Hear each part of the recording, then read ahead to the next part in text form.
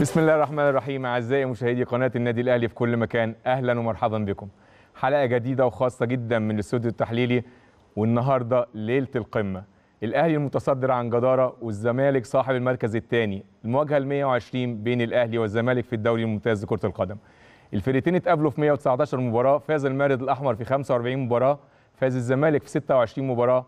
وحسم التعادل 48 مواجهة بين الفرقتين بالتأكيد بالتأكيد مباريات الأهلي والزمالك هي متعة كرة القدم المصرية. مباراة من أهم المباريات في العالم. كلاسيكو وديربي من طراز خاص. بصراحة أجواء القمة بتكون أجواء مختلفة سواء على اللاعبين في أرض الملعب أو على الجماهير خارج أرض الملعب. أنا عشت الأجواء دي وأكيد ضيوفي الكرام عاشوا ليالي القمة. هنتكلم في كل ده خلال حلقتنا النهاردة وتغطية مميزة جدا لمباراة الأهلي والزمالك. في البداية أحب أرحب بضيوف الاستوديو التحليلي وليلة القمة كابتننا الكبير كابتن شريف عبد المنعم أهلا وسهلا بيك. أهلا بيك كابتن أيمن وبضيوفك ومنور الدنيا كلها. كابتن أسامة عرابي. أهلا وسهلا بيك. المبدع. كابتن أسامة يعني كان جناح متألق أيام الأهلي والزمالك بالذات وياما عمل لنا جوال. كابتن أسامة أهلا وسهلا بيك. بيك يا أيمن وكابتن شريف وضيوف بقى لما تقدمهم بقى. كابتن كابتن عادل هد... يا كابتن عادل عبد الرحمن هدفنا البارع أهلا وسهلا بيك. أهلا بيك يا كابتن أهلا وسهلا. كابتن أسامة حسني هداف من طراز خاص وليه صولات وجولات مع مباراة الأهلي والزمالك. أهلا وسهلا بيك. ازيك يا كابتن أيمن ومنور ال- الاستوديو التحليلي لقناة النادي الأهلي واتمنى إن شاء الله يعني بكرة كل التوفيق للاعبينا وتبقى ليلة سعيدة إن شاء الله بكرة على جماهيرنا كمان إن شاء الله. يا رب إن شاء الله إن شاء الله. في البداية حابين نتكلم عن مباراة الأهلي والزمالك. طبعا كابتن شريف إيه، كان الواحد يمكن بفارغ الصبر بيستنى المباراة دي. طبعا. يمكن أنت كنت واحد من ضمن اللعيبة المميزة جدا في ماتشات الأهلي والزمالك وأنا كنت واحد من ضمن اللي أنا كنت بتفرج عليه. يعني أنا حضرتك إيه، كلاعب في الملعب وأنا كنت متفرج وحضرت معاك كنت لاعب وانت كنت لاعب زميل مظبوط ولعبنا مع بعض مباريات كتير جدا صحيح آه، طبعا مباراه الأهلي والزمالك دي حاجة بتعمل أسماء وبتعمل آه، دويتات يعني أنا صاحبني في مباراه الأهلي والزمالك كابتن محمد صلاح طبعا. فبقت كل الدنيا. لما تيجي تتكلم بكرة مثلا ماتش الأهلي والزمالك فيقول لك شريف وصلاح بكرة هيعملوا صحيح. إيه؟ آه مباريات ثنائية مصطفى بينكم عبده. وسامي منصور هيعملوا إيه خدت. بالك فبتبقى في دوتات في المباراة ومتعه للجماهير بتشوف سرعات وبتشوف آه، آه، لمحات صفوت وحسن شحاتة آه، فاروق جعفر وتحركاته وشطه وهو بيعمل مع man to man يعني بتبقى في حاجات الجماهير كلها في الذاكرة ما بتتنسيش الحقيقة. فمباراة نادي الأهلي ونادي الزمالك بتبقى كمان مولد بعض اللاعبين الجدد اللي هي بتبقى لهم الفرصة في في الاشتراك في الحاجات دي. زي أسامة مثلا أسامة بي- بيجيب جولين في في مباراة مهمة جدا والأهلي متأخر بيعمل ريمونتادا عظيمة. فيفضل-. فيفضل أسامة ده في الذاكرة خدت. بالك؟ طول العمر. ده الورث أو ال- الشكل الجميل اللي الواحد بياخده من هذه المباراة. بس أنا عملتها قبله. أسامة عرابي بقى سبب الش... ال- قبله دي أسامة عرابي. كابتن أسامة عرابي أنت من ضمن اللعيبة اللي اللي اتجهزوا كتير جدا يمكن أيام الكابتن جوهري الله يرحمه ويمكن كان في سنة كاملة إيه، بتقضوها تدريبات ورا المرمى. مظبوط. تفتكر أول مباراة ليك مع نادي الزمالك أيام الكابتن جوهري؟ آه طبعا. آه إحنا أنا طلعت 82 السنة الأولى زي ما أنت قلت كانت آه طبعا النادي الأهلي كان مليان نجوم يعني يملوا العين زي ما بيقولوا. ومنهم طبعا ضمنهم الكابتن شريف كابتن خطيب كابتن مصطفى عبده ومختار أنا مش عايز أنسى حد. كابتن طاهر أبو زيد آه ربيع مجدي عبد الغني ثابت وإكرامي يعني نجوم آه، ماهر همام ناس عمالقة يعني الجيل السبعينات وال- واللي, واللي اشتغل كمان في الثمانينات فأنا طلعت عليهم 82 أول سنة ما كنتش زي ما أنت بتقول يعني كنت تدريبات بس. وحتى أحيانا في التقسيمات كنا بنبقى ورا الجون. يعني. بيبقى 11 ضد 11 في الملعب وإحنا 5 6 بقى. أيوة. ابتديت بقى من 83 84 ابتديت ألعب. وكانت أول مباراة أهلي وزمالك. آه، رغم للاسف إحنا خسرنا فيها 1-0 بجون لأيمن يونس. ولكن المباراة دي من أمتع المباريات اللي إحنا عملناها كنادي أهلي. وزي ما في مباريات النادي الأهلي بيبقى متفوق والزمالك بيفوز أحيانا وفي مباريات الزمالك كان أفضل وإحنا كسبنا فيها. المباراة دي, دي كانت كده كانت أول لقاء ليا سنة آه، 83 84 آه، كانت في الدوري العام مع الكابتن محمود الجوهري. آه، بس إحنا للأسف خسرنا فيها 1-0 وطبعا تتالت بقى المباريات أنا لعبت حوالي ما يقرب من 30 مباراة أهلي وزمالك في- على مدار من 83 لغاية 99 ما بطلت. يعني من من 26 27 ل 30 مباراة ممكن يكون فطبعا فيهم الحلو قوي لما نيجي نتكلم عليه فيهم الوحش فيهم اللي كسبناه فيهم اللي خدنا بيه بطولات آه، آه، زي 92 و95 طبعا كأس مصر الدوري العام 95 فريق الأحلام. وكسبنا في آخر مباراة آه، وغيره يعني. فمواجهات كتيرة جدا آه، لعبتها ضد الزمالك وعاصرت أجيال بقى كتيره. يعني قابلت الكابتن محمد صلاح آه، فترة الكابتن شريف لما كان متعور. لعبت في مواجهة محمد صلاح لعبت في مواجهة حسين عبد اللطيف لعبت في مواجهة تامر عبد الحميد اللي هم ال- ال- الزهراء. اليمين يعني. عشان أنا في الغالب كنت ناحية الشمال. طبعا غير لعيبة الوسط يعني. فكذا جيل الحمد لله واحد مر بيه من من 82 83 مم. لغاية 99 اللي هو وقت اعتزالي يعني. إيه، كابتن عادل عبد الرحمن مباريات الأهلي والزمالك دايما بتبقى بطولة خاصة. حتى في فرق الناشئين. وانتوا كان عندكم فريق ناشئين مميز يمكن الناس كانت بتروح الجمهور كان بيروح وراكم كل حتة يتفرج عليكم.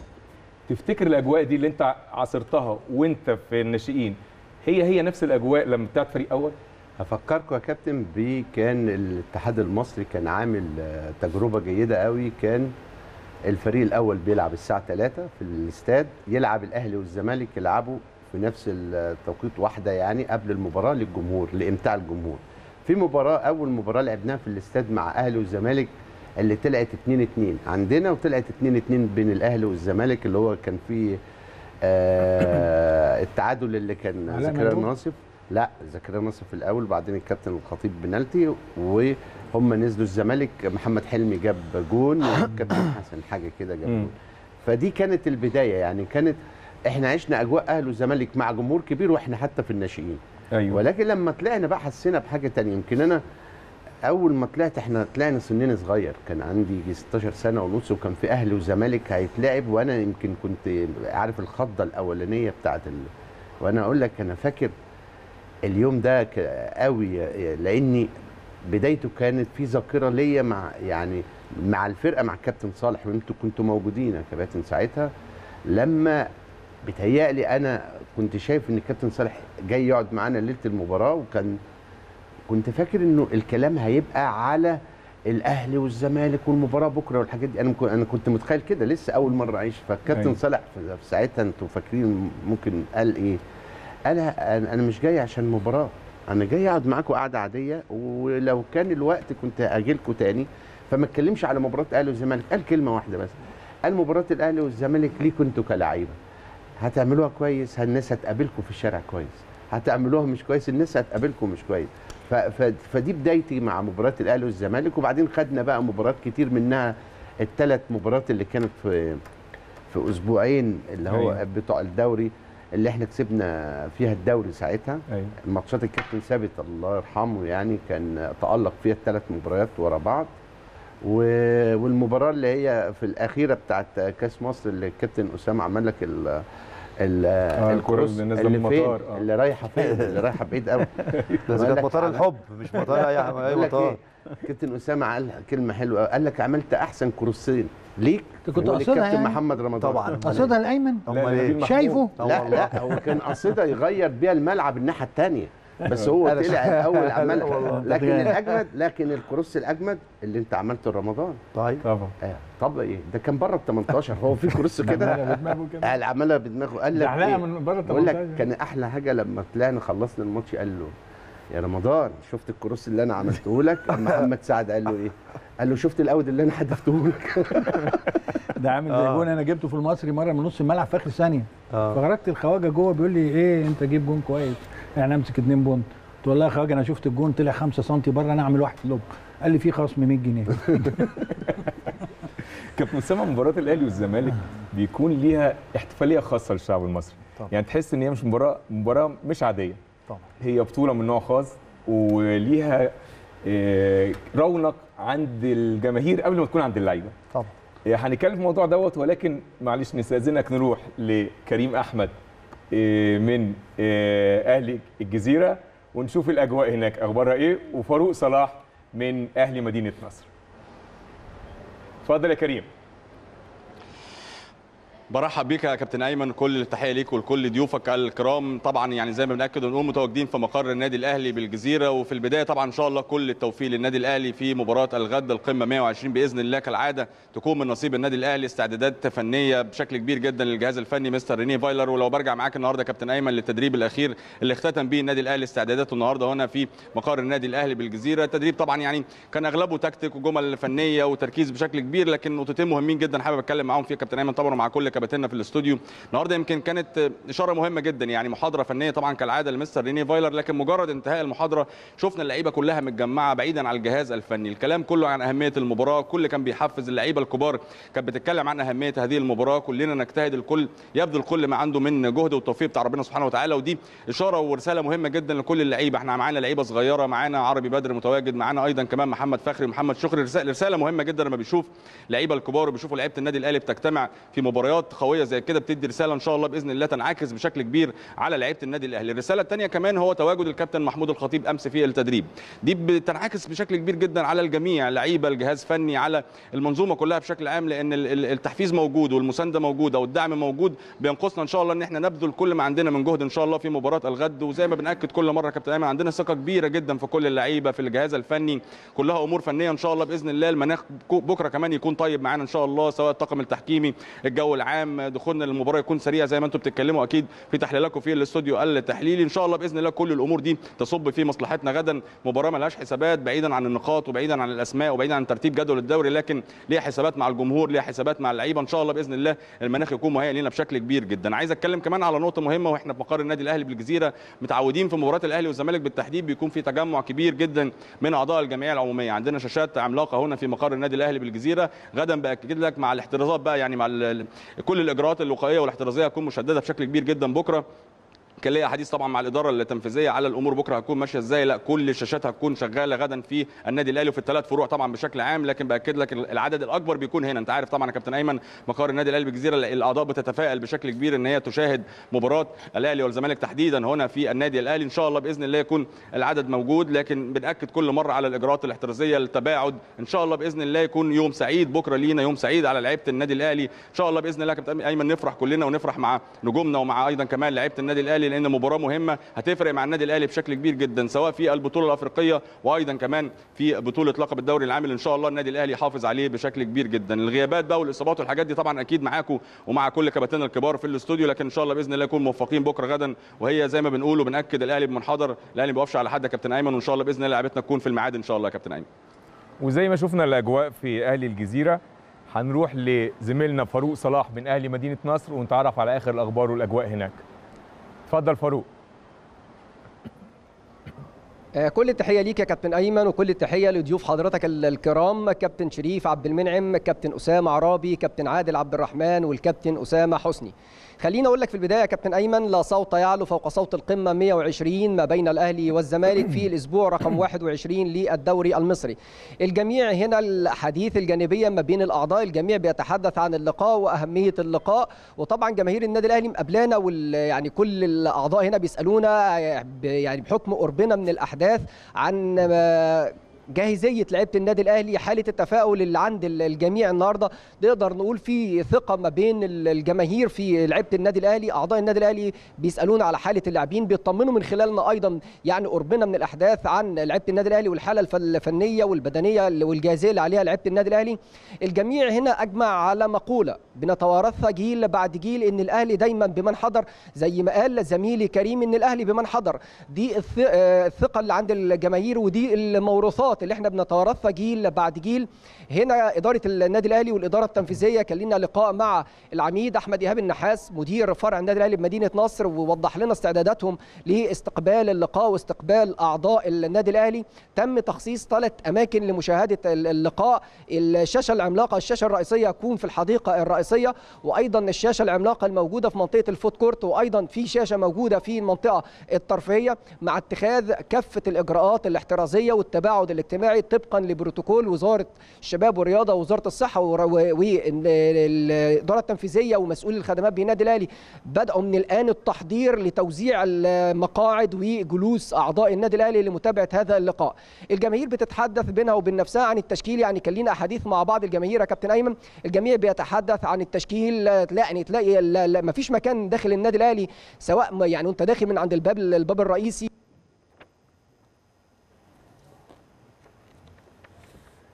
شكرا جزيلا كريم شكرا فاروق على الأجواء الجميلة اللي أنتوا عايشونا فيها. كابتن أسامة نرجع تاني لسؤالنا. نتكلم عن احتفالية خاصة للشعب المصري. الناس كلها بتبقى مترقبة عايزة تستمتع بالمباراة إيه، كل واحد بيبقى طبعا فيش بيت بيخلو من أهلاوي أو زملكاوي. طبعا. فكله بيبقى مترقب وعايز يشوف إيه اللي هيحصل في الماتش. لما بنتكلم عن آه، مباريات الأهلي والزمالك دايما بنحط لها عنوان كده هي دي عنوان الكرة المصرية أو عيد للكرة المصرية. كل زي ما حضرتك بتقول يا كابتن أيمن آه، كل الجماهير بتستناها مش جماهير أهلي وزمالك بس ده جماهير مصر بكل طوائفها. آه، جماهير الوطن العربي جماهير الخليج كله بيستنى مباراة الأهلي والزمالك.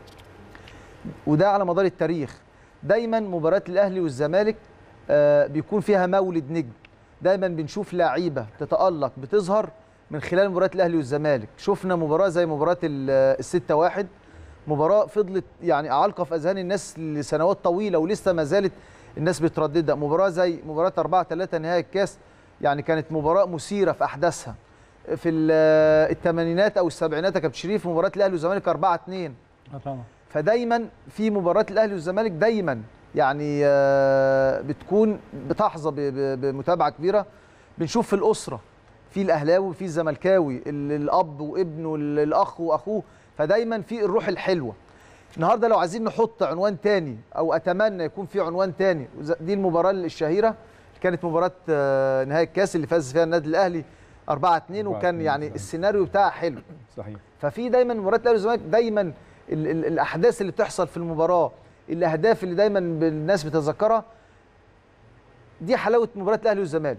لكن قبل ما نلعب مباراة الأهلي والزمالك بكرة أتمنى يعني يتحط برضو عنوان الفترة اللي فاتت كان فيها مشاحنات كتير ما بين الأهلي والزمالك. أتمنى يتحط عنوان اسمه عنوان قمة الأخلاق. نفسي نشوف بكرة مباراة حلوة مباراة ما بين اللعيبة نقدر نستمتع بيها. آه لعيبة النادي الأهلي تكون في أحسن حالاتها. آه عندنا إصابات لكن عندنا الحمد لله لعيبة عندنا عناصر خبرة كبيرة في الفريق. عندنا الشناوي عندنا معلول عندنا السولية. يعني مش عايز انسى حد لكن الحمد لله دايما النادي الأهلي عنده عناصر خبرة كبيرة ولسه هنتكلم في استفاضه عن مباراة بكرة. هي دي النقطة اللي أنا نفسي أشوفها بكرة. مباراة حلوة 90 دقيقة نقدر نستمتع بالنادي الأهلي خاصة. بكرة النادي الأهلي مفيش ضغوط. النادي الأهلي مت يعني متصدر جدول المسابقه بفارق كبير. لأن النادي الأهلي 56 نقطة الزمالك 39 نقطة. آه, آه تظل مباراة الأهلي والزمالك بطولة خاصة. بطولة خاصة. استعداد خاص. دايما اللي بيحسمها التفاصيل الصغيرة داخل اللقاء. صحيح. حالة اللعيب يوم المباراة مم. ممكن تكون ماشي قبل المباراة بشكل كويس لماتشات قبلها آه لكن يوم المباراة ما تبقاش موفق أو العكس. صحيح. فدايما الساعتين اللي داخل المباراة بتحسمها التفاصيل الصغيرة. حالة كمان المدير الفني النهارده موفق في تغييره موفق في تشكيل. فدايما بتكون التفاصيل الصغيرة في مباراة الأهلي والزمالك هي اللي اللي بتحسم المباريات الكبيرة. لكن قبل المباراة أتمنى تكون مباراة قمة في الأخلاق قبل ما تكون قمة في الكورة ونستمتع بيها إن شاء الله. بإذن الله. كابتن شريف كنت عايز أكلمك عن الاختلاف في مباريات الأهلي والزمالك زمان عن دلوقتي بخلاف موضوع الجماهير وغياب الجماهير. باختلاف آه، غياب الجماهير وموضوع الجماهير هي مباراة جماهيرية برضو. يعني هتحس الدنيا كلها بكرة. مستنية المباراة دي فارغ الصبر. مستنيين فكل واحد على انتمائه وكل واحد في فكره وكل واحد في شخصيته. اللي بيحب يشوف فرقته فيها. بيتمناها بكرة زي ما أسامة قال. يعني قال لك أنا الفرديات بكرة الخبرة بتاعت الملعب شكلها إيه؟ عدم الضغوط على الفريق. إنما إحنا أيامنا إحنا أيام ما إحنا كنا بنلعب. أنا بالنسبة لي كانت أسهل مباراة. آه. ليه بقى أسهل مباراة؟ مفيش لعيب بيجرؤ يا عادل خدت بالك في مباراة الأهلي والزمالك؟ يلعب man to man على لعيب. ولا يمسكه وتستلم براحتك خالص. مم. تقدر أسامة عارف كده أقدر أشوف أسامة واديها له. في مساحات. أعمل فارق سرعات بيني وبين محمد صلاح. صحيح. محمد صلاح على طول attacking وهو ال playmaker بتاع نادي الزمالك. فكانت التعليمات بالنسبة لي أنا ما يتقدمش علينا. أيوة. لما أنا بمسكه ما يتقدمش علينا. وإحنا بنقطع الكورة فرقتي كلها حاسة بسرعة مصطفى عبده وسرعتي. بنعمل ال- آه، ال counter attack بسرعة وطبعا معانا الكبرى في ال- بيستناها في أي وقت. فده الشكل اللي إحنا كنا بنلعب عليه وده الثقة اللي الجماهير بتبقى رايحة عايز تتفرج علينا فيه.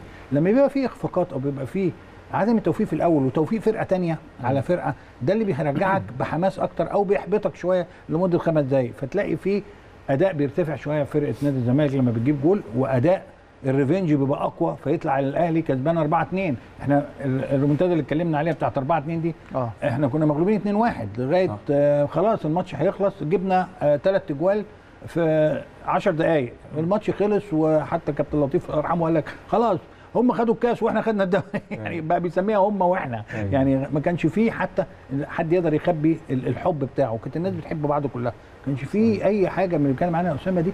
ال- الجماهير كلها قاعدة مع بعض. كل يعني إحنا عيلة رايحين نصنا زمالك ونصنا أهلي. كويس. موجودين في الملعب. ويضحكوا بعد كده لما ده يجي يقول لك آه بس ده عمل ده. ما كانش في تجاوز الحقيقة. بس كان اللي أقدر أقوله لك شخصيا أنا عندي علاقة بلعيبة نادي الزمالك لحد دلوقتي. وبعد ما كان بيخلص ماتش الأهلي والزمالك يا أسامة ما كانش غير إن إحنا بنتقابل بعض أو بنتقابل بنتعالج تاني يوم عند كابتن مصطفى الله يرحمه لو تفتكر. الله يرحمه. آه في نادي. المقاولين العرب كان هو اللي بيعمل لنا الريكفرنج بتاعنا وبنبقى وبن... وفاروق جعفر يهزر مع صلاح يقول له شريف اهو ومش عارف إيه وإحنا بن... فكانت أجواء. جميلة جدا بالنسبة لنا إحنا أساسها الكلام اللي قاله عادل عبد الرحمن كابتن صالح قال الجماهير هتقابلك إزاي بعد الماتش صحيح هي دي طب إيه اللي اختلف بقى بين الجمهور واللعيبة ال social media بقى شحنت هي السبب. الرئيسي؟ السبب الرئيسي ال social media والدفاع عن عن قدراتك انت في وسط الملعب. وكل واحد بقى دلوقتي العملية غيرنا إحنا ايامنا ايمن ايمن إحنا وانت كنا بنحب نلعب. صحيح. عايزين نتحط في الفرقة وخلاص. عايزين نبقى قدام الناس بنلعب. دلوقتي الحكاية آه، فيها احتراف وفيها لغة آه، آه، دولية عايز اطلع بره الناس تشوفني. مباراة زي دي مهمة جدا العالم كله اتعرف عليا. آه، ياما مباريات زي دي طلعت ناس احترفت في تركيا وحاجات كده وبتعمل career لنفسك وبتعمل CV وبتعمل كل حاجة. فزمان غير دلوقتي الحقيقة. يعني الملعب زمان غير دلوقتي. اللبس غير دلوقتي. ال shoes اللي بنلعب بيه في variety دلوقتي عندك ثلاثة أربعة shoes تقدر تغير فيهم ده الإمكانيات اللي هي موجودة دلوقتي تتيح ليك إن أنت تقدم أحسن ما فيك. مع إيه؟ مع إن اللي حصل دلوقتي المواهب قلت شوية عن صحيح. أيام زمان. كابتن عادل مباراه الاهلي والزمالك تعتبر ديربي من نوع خاص. ويمكن آه، تعادل بعض الدربيات العالمية. وكل الناس يمكن في جميع أنحاء العالم يعني أنا أنا عن نفسي كنت في أمريكا وكان في ناس كتير جدا وخصوصا العرب هناك والمصريين بصفة خاصة بينتظروا مباراه زي دي. مباراة بكرة ولو انها يعني آه، تقريبا الدوري تقريبا محسوم للنادي الأهلي بنسبة 60 70% حتى الآن. هل المباراة بكرة برضو تاخد الاهتمام الجماهيري ده؟ أكيد طبعا هو يعني يعني إحنا لو اتكلمنا على أهلي وزمالك من قديم الازل يعني تلاقي إن ال- اللي كانت حلاوة المباريات إن هي كانت بتيجي في نهاية الموسم عشان كانت مظبوط. بيبقى فيها تشويق أكتر صح. وخلي بالك هم كانوا قاصدين دي يعني أنت الأيام دي ممكن أو السنين اللي فاتت كان بيجي في بداية. في رابع أسبوع خامس أسبوع سادس أسبوع لكن زمان اللي كان مقوي الد- ال- الديربي ما بين الأهلي والزمالك كان بيحسم بطولة أحيانا واحيانا بيجي نهاية موسم بتقفل بيه الموسم يعني يعني كاحتفالية لمباراة أهلي مباراة أهلي وزمالك. ولكن الأصل في الموضوع إيه؟ الأصل في الموضوع إن كان في تقارب يعني يعني على سبيل المثال بس بس بس حاجة تعادل هل دلوقتي ما أنت النهارده هذه في الأسبوع ال- الرابع مم. صح؟ في الأسبوع ال- ال- ال- الدور الثاني 21 آه. الدور الرابع في الأسبوع الرابع. التاني. كان زمان زي ما حضرتك بتقول كانت بتتحط في آخر الموسم كان خلاص آه، النادي الأهلي مثلا حسم البطولة فكانت المباراة يعني ما بقاش آه، فيها الحماس زي دلوقتي. دلوقتي ما زال برضو النادي الأهلي ما شاء الله متصدر بفارق كبير. لا أنا أنا لا أنا بتكلم على إيه يا أسامة. ودي مهمة قوي أنت بتتكلم على نهاية الموسم كان نادي الزمالك فترات كتير قوي مم. عايز مثلا يكسبك أو أنت تتعادل عشان تاخد البطولة أو بال يعني كان في الندال كتير. يعني مباراة زي مباراة بكرة. أنا أنا من وجهة نظري. هو ديربي عادة. لكن أنت بتتكلم على فروقات ما بين فرقة متصدرة بحوالي 17. 17 point يعني هنا تقدر تقول فين الصراع؟ يعني آه، آه، المباراة مش تاخد اللي اللي هي الثلاثه point هيأثروا مع الفرقة دي ولا هيأثروا مع الفرقة دي. فده فده المهم في الأمر. يعني أنا بتكلم كان زمان يجي يقول لك مباراة أهلي والزمالك ما تعرفش مين اللي هيكسب. أيوه. أوكي؟ وما تعرفش مين اللي هيحسم بيها. لكن دلوقتي أنت بتتكلم على مهما حصل في مباراة بكرة مش هيأثر على مش شكل هتأثر الجدول. على شكل فهنا الحماس هيبقى أكتر ول-؟ ولكن ولكن برضو هي بطولة خاصة يا كابتن عادل يعني مهما كان بطولة خاصة يمكن شفنا هنتكلم في الموضوع الفنيات دوت بعد آه. كده ولكن برضو مباراة الأهلي والز- والزمالك ليها طابع خاص أكيد. يعني حتى لو الأهلي حس- حسم الدوري مبكرا طبعا. بنسبة كبيرة جدا ولكن تبقى مباراة الأهلي والزمالك بطولة من نوع خاص أكيد طبعا يا كابتن ولكن مش أحيانا أحيانا في الاحتراف اللي إحنا بنتكلم فيه عند المدرب مثلا فايلر وعند مدرب الزمالك لو انت كلمت معاه في الوقت ده يقول لك دول 3 point زي 3 point ما هو ده اللي إحنا بنتكلم فيه يا كابتن يعني ده عندنا إحنا لكن انت بتتكلم على شغل احتراف يعني انت ممكن في مباراة زي الأهلي والزمالك انت بتعد لبطوله أفريقيا انت والزمالك أيوة. كمان أيوة انت. بتعدهم بروفا مهمه جدا دي، بروفا آه. فدي بروفا لكن اللي أنا عايز أقوله ما كانش الأول بيبقى فيه بروفا لأن كان المباراة محتاجها الفرقة علشان تحسم بيها دوري أو تحسم بيها مركز أو تحسم بيها حاجة. لكن أنا بتكلم إن شكلها بالنسبة لنا إحنا آه للجمهور لأن إحنا اتعودنا على كده. لكن أنا شايف إن هو خلاص يعني في فرق كبير قوي ما بين اللي بنط تخليها تبقى مباراة قمة في الاحتراف. أيوه. ده أنا مع عادل في النقطة دي مم.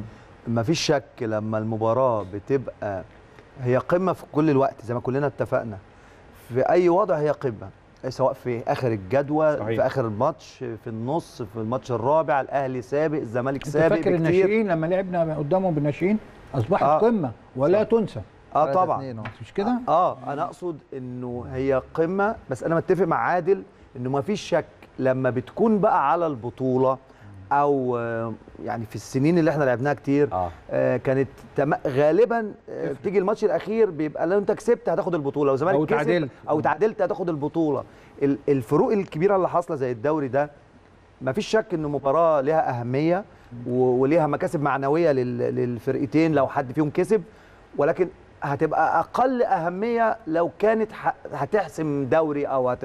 بس ولكن آه. ولكن مباراة الأهلي والزمالك آه. برضو إحنا كلنا آه طبعاً، متفقين طبعاً. انها هي ليها طابع خاص. طبعاً. وقمة الأهلي والزمالك حدوتة مصرية.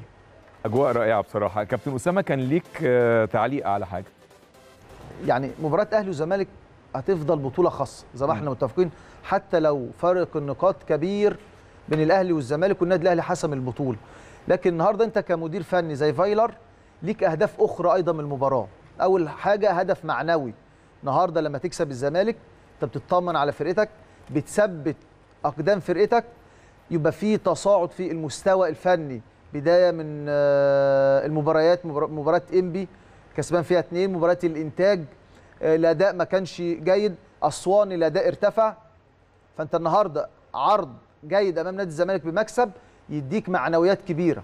تاني حاجة أنت عندك عدد من المباريات قبل ما تصل لمباراة الوداد في بطولة أفريقيا وهي البطولة الأهم للنادي الأهلي وكل البطولات مهمه عندك عدد مباريات محتاج في عدد المباريات اللي هتلعبها في خلال فترة توقف خمس شهور. إزاي اللعيبة تستعد تستعد بدنيا بشكل جيد؟ إزاي يبقى عندها رتم المباريات؟ النهارده مباراة زي الزمالك مباراة أكيد فيها ضغط عصبي. النهارده هي المباراة أو البروفة القوية لمباراة الوداد. كل مباريات الدوري اللي أنت بتقابلها بالرغم إن في مدة كبيرة لسه شهر لسه بس النهارده أنا بتكلم على الضغط. النهارده انت ممكن تلعب مباراه زي أسوان يبقى عندك فيها اريحيه شوية في مم. المباراه. عارف انك ممكن تكسب في أي وقت.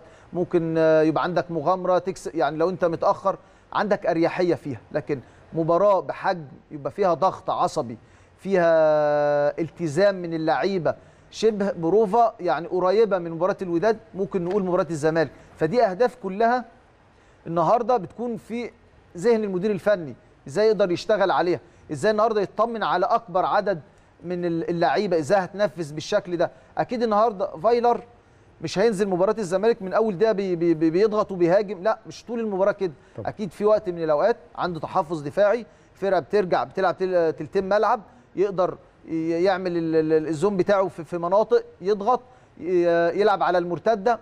الشكل ده كله ممكن نشوف مباراة الأهلي والزمالك بكرة. ده ممكن يتعمل في مباراة الوداد. الحاجة برضو المهمة جدا في مباراة زي مباراة الأهلي والزمالك بكرة. ربنا كرمنا إن شاء الله بالثلاث نقاط. يا رب. النهارده خلاص يبقى أنت خطوة مهمة في حسم بطولة الدوري. تقدر تدي فرصة بعد كده للاعبين صغار بقطاع الناشئين. النهارده شفنا محمد شكري عربي بدري الموجود في القايمة. بكرة محمد فخري مصطفى الشوبير تقدر يتم الدفع بلعيبة صغيرة. ده بعد حسم الدوري. بعد حسم الدوري إن شاء الله. وأنت بتاخد خطوة مهمة. فأنت النهارده مباراة الأهلي والزمالك فيها اهداف كتير. مم. هدف إنك تبعد بفرق النقاط هدف فني إزاي أطمن على لاعيبتي إزاي يبقى الريتم موجود.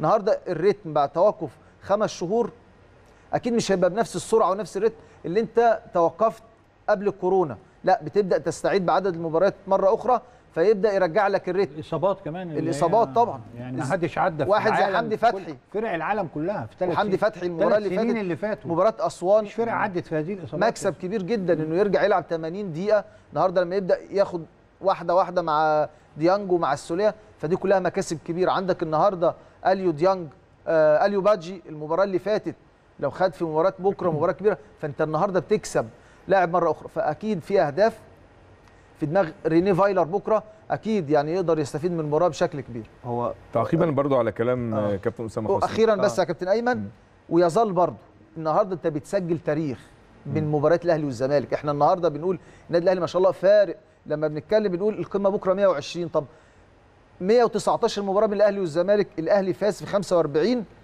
آه وتعادل في 48 آه آه، والزمالك فاز في 26 فأنت الأرقام ما زالت يعني النادي الأهلي متصدر بفارق الأرقام دي. فأنت النهارده برضو مباراه انت بت...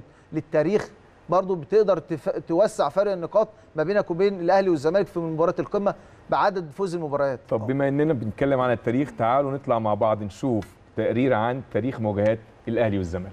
الحلقة الجديده رعاة القناة بيقدموا جوائز قيمة جدا لكل جماهيرنا. أحمد تي بيقدم ثلاثة سكوتر في مسابقة توقع النتيجة.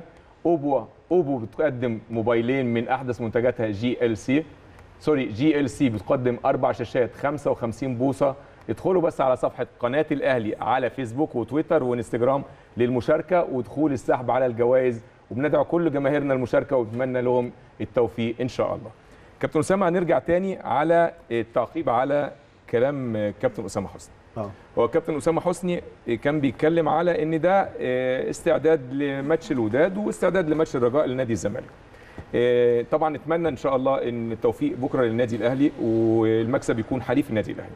ولكن معنى كلام ده إن لا قدر الله لو حصل بكرة آه، هزيمة للنادي الأهلي لا قدر الله آه، وهزيمة لنادي الزمالك ال- العامل النفسي والتأثير النفسي للهزيمة دي. هل هيمتد لحد كمان شهر الماتش الوداد أو الرجاء؟ آه ما أنا يعني كل الأهداف اللي أسامة قالها من من مكسب آه، الأهلي للمباراة موجودة في ذهن فايلر وأكيد بالنسبة للزمالك بالنسبة لكالترون كل واحد فيهم عنده أهداف كتيرة من اللقاء سواء استعداد لعيبة سواء قوة المنافس مشابهة للوداد والرجاء آه، غير الماتشات الأخرى في الدوري.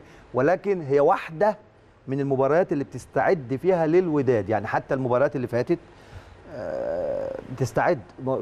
المباريات ال- الودية بتستعد التدريب بتستعد كل ده استعداد. أنا بس بقول إيه لما عادل اتكلم في نقطة أهمية اللقاء مفيش شك جماهيريا وحتى للمدربين هو ماتش مهم جدا وماتش كل مدير فني على الأقل لو ما كسبت ما كسبش الماتش هيحاول ما يخسروش عشان معنويا مع الجماهير. ولكن إحنا بنقول إيه؟ انه المباريات ديت كمان لما بتبقى فرق نقط قليل بين الأهلي والزمالك أو بتكون مباراة أخيرة هتحسم مين فيهم اللي هياخد اللقاء بيزداد أهميتها. لأنك أنت ممكن طبعا. تخسر بيها البطولة. إحنا بنقول انه إنه أهميتها طبعا موجودة وكل الأهداف اللي أسامة قالها دي حقيقة والمدرب عايز يحققها. ولكن فرق كبير ما يبقى أنت بتلعب وكسبت المباراة دي هتاخد البطولة أو آه، آه، كسبتها مش هتاخد البطولة لكن نفسيا ممكن تأثر نسبيا آه، في مباريات الوداد والرجاء لكن مش بالدرجة ال ال ال الكبيرة قوي لأنه في مدة أيوة، زي ما أنت ما فيش. مثلا مش هنلعب ال- الأسبوع الجاي لا أيوة. لسه في ثلاث. أربع ماتشات لسه في لكن آه. هتزال لها أهمية معنوية عند الجماهير كمان يمكن زي ما عادل بيقول المدير الفني الأجنبي ما يبقاش تأثير الماتش ده وهو واخد الدوري في ذهنه زي الجماهير وخاصة كمان كان هيحس بيها جدا سواء هنا أو هنا لو الجماهير موجودة في الملعب زي ما كان بيبقى فيه 80000 أو 100000 أو كده آه، فلكن آه، مش هتأثر التأثير الكبير قوي لو واحد من الفرقتين خسر معنى على مباراة معنى كلام الكابتن عادل إن هي مباراة ثلاث نقط لا مش يعني ثلاث نقط. فكر في فكر المدرب لا. الأجنبي يعني يقول لك خلاص أنا لا- يعني خسرت لا. ثلاث نقط خلاص مفيش مشكلة نادي. الزمالك مستسلم أصلا ونادي الزمالك يعني حاسم بصفة لا. ب- بصورة كبيرة جدا إن الأهلي هو بطل الدوري بس لا ما هو وفي نفس الوقت النادي الأهلي يقول لك ثلاثة بونت خلاص أنا فكري أنا واخد الدوري أبص للي بعد كده ما ده كلام الكابتن لا عادل. لا بس هقول لك كلمة ما لا هو يعني أنا آه، بس كابتن عاوز أعقب على حاجة. بسيطة قوي لو فاكر مانويل جوزيه آه. لما حسم الدوري مرة خد أجازة ومشي في مباراة أهلي والزمالك صح. علشان عاوز يرجع يبقى فايق ما عاوز يرجع بس بس. بس ده ذكاء منه لا، كمان. لا، هقول لك ولعب- ليه. ولعب مجموعة ولعب ما من هو الولاد. بالاحتياط كسبنا خسرنا اثنين خسرنا اثنين أنا أنا عاوز أقول لك يا كابتن إيه زمان كان ال ال ال ال مفيش آه، الميديا الموجودة دي ومفيش الكلام الكتير واللغط الكتير كان الناس ما عندهاش تشبع فمباراه أهلي والزمالك الناس بتتشبع بيها قوي. لكن دلوقتي انت في دوري أوروبي وفي وفي وفي ماتشات كأس أوروبا وفي ماتشات مغطيه. على مغ... يعني يعني الأحداث بقت أسرع وأقوى وبعدين المدرب الأجنبي يعني لما بيجي يفكر في مباراة أهلي والزمالك هو بيفكر فيها من ناحية إيه هو فاكر انه يعني آه الناس هتذكر له المباراة كم من المدربين الأجانب لعبوا ماتشات أهلي والزمالك أنت بتذكر المباراة لينا إحنا لكن ما بنذكرش المدرب لا بس أحيانا بتأثر بتذكره. عليه لا، بس- بس في بيتهزم عادل. بتأثر عليه بص يا جماهيريا كابتن عادل في في حاجة لا، يعني بتأثر رد طبعاً. رد على كلامك دوت. إحنا شفنا الماتش الأخير آه، كارتيرون لما لاعب آه، فريق مصر مم. لعبوا بمجموعه كبيره كبيرة جدا من الناشئين تمام وواضح جدا في الماتش ده إن هو تركيزه كله كان منصب على ماتش الأهلي بتاع بكرة ولا هو كان عايز ما هو دي برضو من ضمن أفكار المدربين عايز يطلع بثمرة من الموسم بتاعه يعني مش هو عاوز يبعد عن آه، مش بيريح اللعيبة المباراه أهلي والزمالك قد ما هو عاوز يطلع واحد أو اتنين أو تلاتة يحسبوا للسنة اللي نادي الزمالك خسر فيها دوري ماشي بس؟ ما يلعبش ثمانيه من. الناشئين لا لا هو عادي. عادي. لا الهدفين مع هو بعض. حب يعمل كده. لا الهدفين مع بعض. تسمحوا لي هو أقول لكم على حاجة؟ بيريح. بالنسبة للمدربين الأجانب آه يعني اتفضل. شخصية فايلر بانت من الأول إنه بيعتبر كل مباراة لوحدها على حدة ثلاثة آه. استعداد زي- خلاص آه، آه، ما بيفرقش معاه إسماعيلي مصري زمالك أي حد. الراجل من يوم ما جه وهو الماتشات بالنسبة له كلها بومينج يعني ما خسرش ولا ماتش الحمد لله. يوم ما بيتعادل بيتعادل لظروف خاصة جدا كلنا بنعرفها. مر معاه إصابات وعودة لعيبة ودخول لعيبة وخروج لعيبة. فشخصية المدرب الأجنبي ده عندنا بالنسبة لنا في مباراة زي بتاع بكرة بالنسبة له مباراة زي أي مباراة. هو هو دي الفكرة. ال ال ال social media والترجمة ليه بتترجم له إن ده لقاء قمة لقاء بين الزمالك وهو عايش الفترة اللي فاتت وخسر المباراة اللي فاتت بضربات جزاء مش بحاجة. لو كان حسمها وكان لابد أن يحسمها في خلال 90 دقيقة اللي كانت موجود وهو متمرس على نادي الأداء. عندما بيضغط على نادي الزمالك بيفقد نادي الزمالك كل فنياته وكل الانطلاقات بتاعته وعنده تجربة كبيرة قوي وشاف وعاش معاه. لم يتغلب عليه أي حد في اللقاءات دي يا أسامة اللي هي اللي فاتت لنا. فعنده شواهد كبيرة قوي في دخول اللقاء ده. حكاية إن إحنا نتكلم على نتيجة اللقاء يأثر عليا في الوداد أو ما لا، يأثرش. مش هيأثر طب افرض لو. بكرة مش مباراة الزمالك بكرة مباراة المصري. يا كابتن أو شريف. بكرة مباراة الإسماعيلي. يا طبعاً،. الفرق الزمني مش هيفرق. برضه هيفرق آه. معايا. آه هيفرق الكابتن معايا. أيمن قال نقطة مهمة. النهارده كارتيرون المباراه اللي فاتت ريح عدد كبير جدا من اللعيبه. طب النهارده الزمالك بينافس على المركز الثاني. صح. طب ما مباراه الاهلي بثلاث نقاط مباراه مصر بثلاث نقاط. نقاط. النهارده لو هو بينافس على المركز الثاني هو بالنسبة. له لا فكر هدف. بتاعه هو. هدف عنده. أنا غير مسؤول يا عنه. كابتن شريف هو هدف عنده. بس هو هدفه إيه هدف عنده النادي الأهلي النهارده إزاي الدوري اللي هو صح. هيكسبه ده أنا ضيع فرحة الدوري بتاعه ان أنا اكسبه دي, دي هدف من ضمن الاهداف وأنا ما عنديش-. اهدافه هو بعد إذنكم. ولا. اهداف النادي لا, لا، هو بقى كمدير فني لأنه لأنه آه، لكن خلي بالك في حاجة برضو أصل في الحسابات. دي خطيرة يا كابتن أسامة لا، في حاجة في؟ الحسابات أرجع لك يا إن. إن هو لما تيجي أنت بتشتغل بتلاعب ثمان لعيبة وبتريح علشان أنت بتتكلم عشان تريح للمباراة دي وممكن تخسر مباراة وتخسر مركز دي أهداف نادي مش أهداف المدرب لا المدرب مش هي مش هي يعني المفترض إنه ما يرضاش بكده بس هو- ثمانية كتير ما- انت فاهم بتكلم في كده، أنت لما بتعمل. تغيير- بتعمل تغيير،. لا لا عادل من تغير. أهدافه من أهدافه إنه كان يريح لعيبة الأساسية أكيد للمباراة. الأهلي أكيد دي واضحة وبرده زي ما أنت بتقول يضرب عصفورين بحجر هو آه. حاسس إن الفرق واسع فيقول لك ليه ما لعبش مجموعة ناشئين ويبقى علشان اسم يبقى شفتهم أنا بعمل- واسمي عملت جيل أيوه أو أو بعض وعلشان يبقى أنا العناصر بشتغل لهدف يبقى- تاني الدوري طب عموما عموما يا كابتن. عادل كابتن أسامة مكملين كلامنا أعزائي المشاهدين عن لقاء القمة بين الأهلي والزمالك مع نجومنا الكبار ولكن بعد هذا الفاصل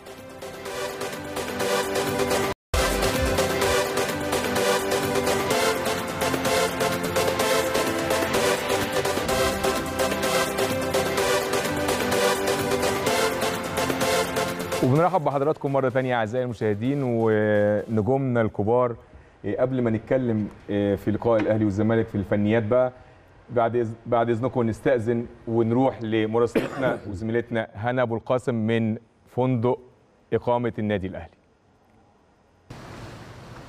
برحب بيك كابتن الخير هنا. برحب بكل ضيوفك الكرام وكل مشاهدي قناة الأهلي في كل مكان ليلة القمة. طبعا بتبقى ليلة مختلفة عن أي ليلة قبل مباراة. كل الجماهير المصرية بتبقى مترقبة ومنتظرة المباراة. أنا دلوقتي داخل آه، مقر إقامة الفريق. الحقيقة الفريق وصل الساعة سبعة ونص وتوجه مباشرة لتناول وجبة العشاء وكان باين عليهم حالة من التركيز والجدية.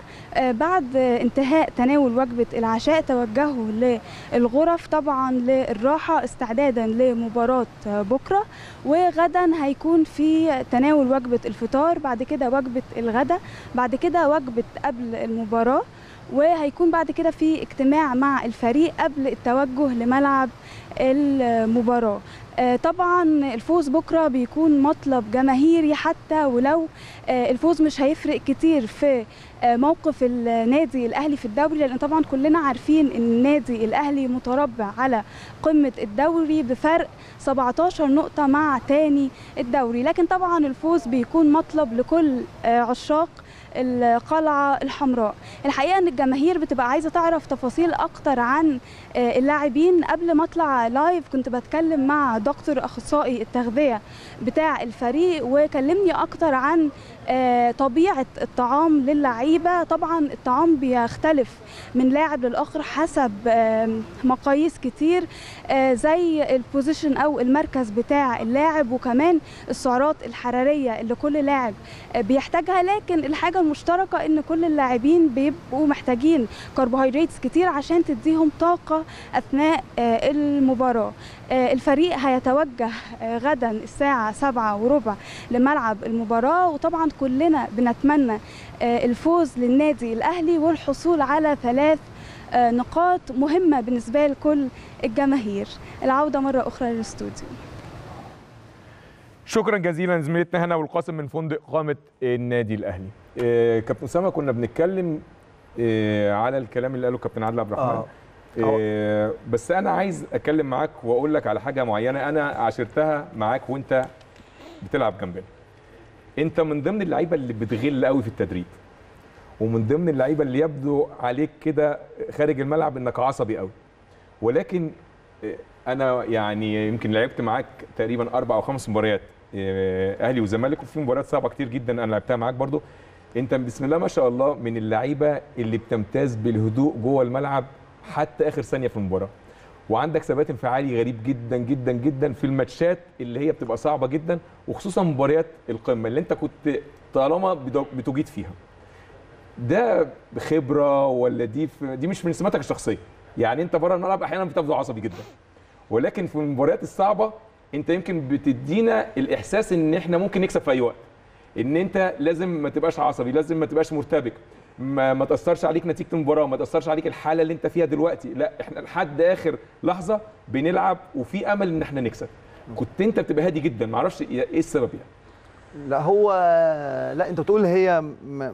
مش في شخصيتي لا هي شخصيتي الأساسية مم. هي ال... ال... الهدوء لكن أحيانا بتحول للعصبية يعني ده- ده- أحيانا آه بره الملعب كمان أيوة. أنا الأساس آه، طبيعتي فيها هدوء بس أحيانا ببقى عصبي. آه، في الملعب من كتر بقى ال- الم- المباريات آه، بالتدريب بتهيئة نفسي قبل ال- الماتش آه، لازم الواحد يدي آه، آه، ثقة آه، لنفسه و- و- تركيز. وتركيز وبعدين المباريات الكبيرة بالذات كل ما بتبقى فيها هادي وعندك ثقة آه، بتلاقي نفسك الأمور متسهلة. كل ما انت بتبقى متوتر و و و وعصبي ومستعجل آه، بتلاقي الأمور آه، بتبقى أصعب وتتعقد وتحس إن زمن المباراة مثلا يبقى ناقص آه، خمس دقايق تفتكر إن دولت زمن قصير مع انه هو زمن طويل.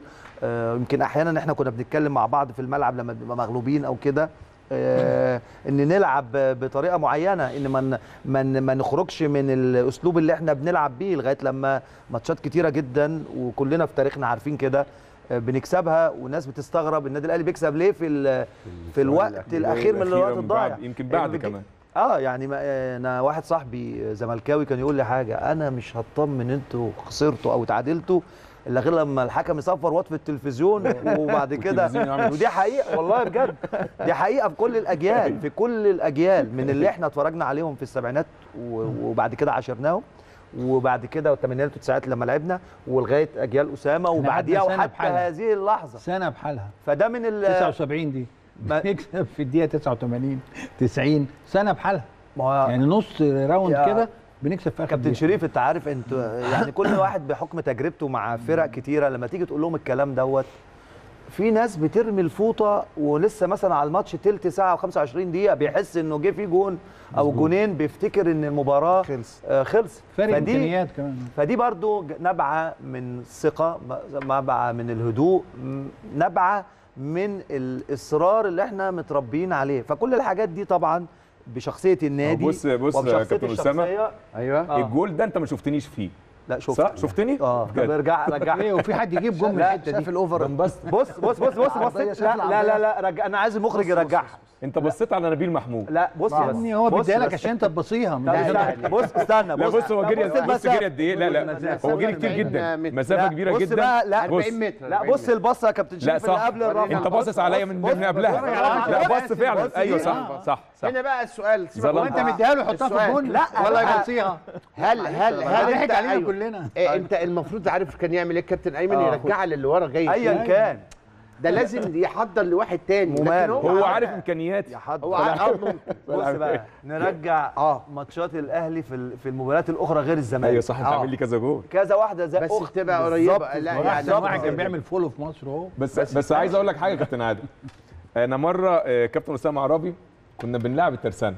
آه. كويس بعيد عن أهلي الزمالك فجات لي كوره كان ال- ال left back أو الظهير الأيسر لنادي ترسانة كان رضا حميد. فالمهم اتلعبت لي through خدت أنا الكورة ومن ورا رضا حميدة وسبقت وكان طالع خضر هاشم رحت اللي هو حارس مرمى ترسانة رحت لعبها لأسامة على خط الجول. آه أنا حلو. فاكر جاب آه. قام لعب الكورة ببطن رجله كده قام ضربة ببطن العارضه ودخلت جول. طب قال لي, جميله قال لي يعني حد يدي واحد كوره زي دي. سريعه قلت له قلت له يعني ما صعبتهاش شوية ليه؟ ما صعبتهاش. قلت له أيوه أنت بتحب الصعب. بص آه كابتن. آه شريف بص هو اداني على خط الجون بالظبط فأنا حطيتها في الش... في, الس... في الشبكة. فحبيت أديها حلاوة أكتر. وأنا لو حطيتها على الأرض هتمشي. أنا عايز أرجع للحتة بتاعت الكابتن أسامة اللي أنت قلت له أنت ليه كنت هادي في الملعب؟ آه. أنا هقول لك حاجة مهمة قوي أنا عاشرت الكابتن أسامة كتير. كابتن أسامة أكتر لاعب مضمون في المباريات الصعبة. امم خلي بالك من دي. يعني في لعيبة تقدر تلعب مباريات صعبة عددها قليل أو متوسط. لكن هو الوحيد اللي كل المباريات الصعبة تلاقيه فيها. ليه؟ وتلاقيه فيها كويس قوي. صح. أهلي والزمالك كان بيبقى أفضل لاعب في الفرقة مظبوط. لأنه كان بيظهر لكل اللعيبة. عنده حاجة آه، أنا أنا بعتبرها يمكن إحنا اتعلمناها منه. بج- بجد يعني. عنده حتة الثقة في نفسه في الوقت اللي اللي, اللي فيه عاوز ينظم بيحتفظ بالكورة بشكل غير طبيعي. و- و- و- وخلي بالك دي مهمة جدا كان الوحيد اللي بيحل لك أزمة. مم. خش بقى على المباريات اللي هي صعبة قوي اللي كانت بتبقى في أفريقيا والحاجات دي. لما كنت تبص لوشه بجد والله أيوة. تطمئن. صح. وكان يحسسك يحسسك إن أنت آه لعيب كويس ويحسسك يقول لك يلا وبعدين عمره ما نهرك. ولا عمره قال لك كلمة وحشة في الملعب. دي, دي حقيقة. فعلاً، فعلاً. بالعكس طول الوقت كان يشجعنا وطول الوقت يقول لك هنعمل هنلعب هنشتغل. هو بالأمانة هو والكابتن ربيع لما يبقى مش مش آه، متضايق مش عصب مش عصبي آه. في, في الوقت ده ولكن في حاجة ب- برضو عبد على كلامك الرحمن أحسن فيرود في مصر بعد الكلمتين دول بعد لا الكلمتين لا لا هو. فعلا بص أنا حضرت في طبعا ماتش الأهلي والزمالك 2-1 كأس مصر يمكن الشوط الثاني إحنا كنا آه، بدنيا صراحة، منهارين. آه، كويس آه. لما كنت ببص لأسامة عرابي وهو واقف وإحنا بنعاني أبص بس لعينيه والله العظيم كان عندي إحساس لحد آخر لحظة إنك- ان إحنا ممكن نكسب آه، المباراة. ده خلي بالك الشوط بتاع- أبو زيد؟ آه آه. التهيئة النفسية مهمة جدا طبعاً. في المباريات الكبيرة دي. كنت هتكلم بقى على دور المدرب قبل المباراة. هل ليه أثر في حتة التهيئة النفسية دي؟ ده أنت النهارده في دور المدرب ودور اللاعب نفسه. أنت النهارده كلاعب بتخلق دوافع لنفسك في المباريات الكبيره المباريات الكبيرة بتصنع اللعيب الكبير. فالنهاردة علشان دايما اسمك يفضل يتذكر في التاريخ وفي المباريات الكبيرة. انت كلاعب لازم يبقى عليك دور نفسي إزاي بتهيئ نفسك إزاي بتستعد ذهنيا قبل المباراة غير الإعداد البدني. خلاص انت إعداد بدني انت جهزت مباريات بتدريبات لكن يتبقى الدور ال- الذهني أو النفسي مهم. وخاصة كمان زمان مباريات الأهلي والزمالك والقمة كانت لعب ب 120 ألف متفرج. فانت. النهارده عليك ضغط كبير داخل الملعب غير دلوقتي. دور المدرب بقى دور المدرب مهم جدا. انت النهارده لما بتيجي في محاضرة المباراة ما بيبقاش الكلام كله فني. لا ده انت ممكن تتكلم في نقط عريضة في الفني والدور الأكبر هو الدور النفسي. كمان والجوزيه بيجي لنا في المباريات ال- السهلة. المفروض ال- اللي شبه سهلة في الدوري الممتاز يدخل دايما يزعق للعيبة دايما يبقى في شدة للعيبة. ده في المباريات السهلة في الدوري. طب يجي مثلا في مباراة زي نهائي أفريقيا مباراة زي الزمالك في الدوري مباراة مثلا مهمة في الكاس يجي يدخل الأوضة آه. يقعد يهزر يقعد يصفر يتريق مثلا على أحمد السيد آه، على بركات يبدأ يخلق جو في غرفة ال- ال- الملابس أو أوضة اللبس جو فيه ضحك ده قبل المباراة. آه بالمباراة مشدودين مباشرة. أصلا آه يعني وإحنا بنغير وإحنا بنعمل الإحماء عشان هننزل بقى الملعب نستعد للمباراة في الإحماء في الملعب. لا ده عمال يهزر في غرفة آه، الملابس. الفرق. الأجواء دي إحنا معانا مكالمة من واحد حبيبنا من لعيبة النادي الأهلي. آه، هنتكلم معاه عن أجواء مباراة الأهلي والزمالك آه، مساء الخير يا كابتن ياسر. كابتن أيمن مساء الخير وعلى النجوم الكبار. مساء الخير يا حبيبي منور قناة الأهلي ازيك؟ يا سريان سلامك آه سلام الجميع كابتن أيمن كابتن أسامة وكابتن أسامة حسني و- كابتن ياسر. كابتن أهلا علي وسهلا بك يا ياسر. الله يخليك الله يسلمك يا حبيبي الله يسلمك. كلمنا عن أجواء مباراة الأهلي والزمالك يا ياسر شايفها إزاي؟ ما كابتن ايمن قبل ما نتكلم أنت لازم أنت جنبك الكابتن أسامة عرابي أنت عارف آه، آه، م- أنت ليك موقف معاه رجله كانت تقيلة جدا في الشوط. ما شاء الله. بيقول لك رجلك كتيرة جدا في الشغل الشوط بتاع الكابتن أسامة. أنا أموت له يجي ثلاث أجوان. بس خلي بالك خلي بالك عشان قبل, ما يقطع آه. كان من أحسن الناس اللي بتقدم مباريات الأهلي والزمالك. بيقول لك قبل أنت ما تقطع. أنت كنت من أحسن الناس اللي بتقدم مباراة بيلموا الأهلي بيلموا والزمالك بيلموا ماشي؟ لمك بدري أهو. لموا. قول. طب يا حبيبي. أيوه حبيبي. بص يا كابتن أيمن يعني مباراة الأهلي والزمالك إحنا كلنا كده اتعايشنا فيها في الأجواء بتاعتنا. أيوه. لاعبي النادي الأهلي في ميزة كويسة والله مش تقليلا في الأندية الثانية بس ما بقى عنده تركيز وعنده إصرار وعنده هدف بيعمله. وقابلنا وقابلنا في في دي مواقف كتير جدا في مع النادي الأهلي. لو بطولات عربية أو أفريقية أو بطولات دوري أو هنحسم بطولة أو أو تلاقي معدن لعيبه النادي الاهلي زي ما كابتن اسامه كان بيتك- بيتكلم كده ويقول لك آه ممكن يبقى في المدربين بيبقى بعض بيبقوا عارفين إن إحنا متنشنين ومشدودين يدخل يقول أي كلام يخلي الناس بس تطلع بره تنشنه المباراة لكن لعيبه النادي الاهلي على مدار التاريخ بيبقى عندها تركيز قدام فرقة كبيرة زي نادي الزمالك عشان بنعمل لها احترام وبنقدرها وبنبقى عارفين إمكانياتنا إحنا كنادي أهلي بنبقى مركزين جدا. أيوه. الحمد لله يعني أنا كنت محظوظ إن أنا لعبت مع الكابتن أسامة والكابتن عادل عبد الرحمن والكابتن ايمن شوقي في ماتشات كتير جدا سواء في الدوري أو أو ماتشات زمالك فيمكن الكابتن أسامة عربي بيعدي علينا نعمل إيه في المباراة؟ تخيل يعني بر كوتش بره الملعب وجوه الملعب. فدي كانت ميزة برضو إحنا اللعيبة الكبيرة كانت بتخليها نستفاد منهم. أيوه. يعني يجي يقول لي مثلا أنت بت- ناحيه اليمين يا ياسر عندك حسين عبد اللطيف وعصام وعصام مرعي أنا مش ناسيهم. يقول لي خلي بالك لو عملوا over لا take over مش عارف إيه. خلي بالك اوعى كده كده تغير مكانك. هم يغيروا إحنا ما نغيرش. كل ده بنستفاد منهم. فلعيبه النادي الأهلي المباراة إحنا لنا هدف بكرة واحد.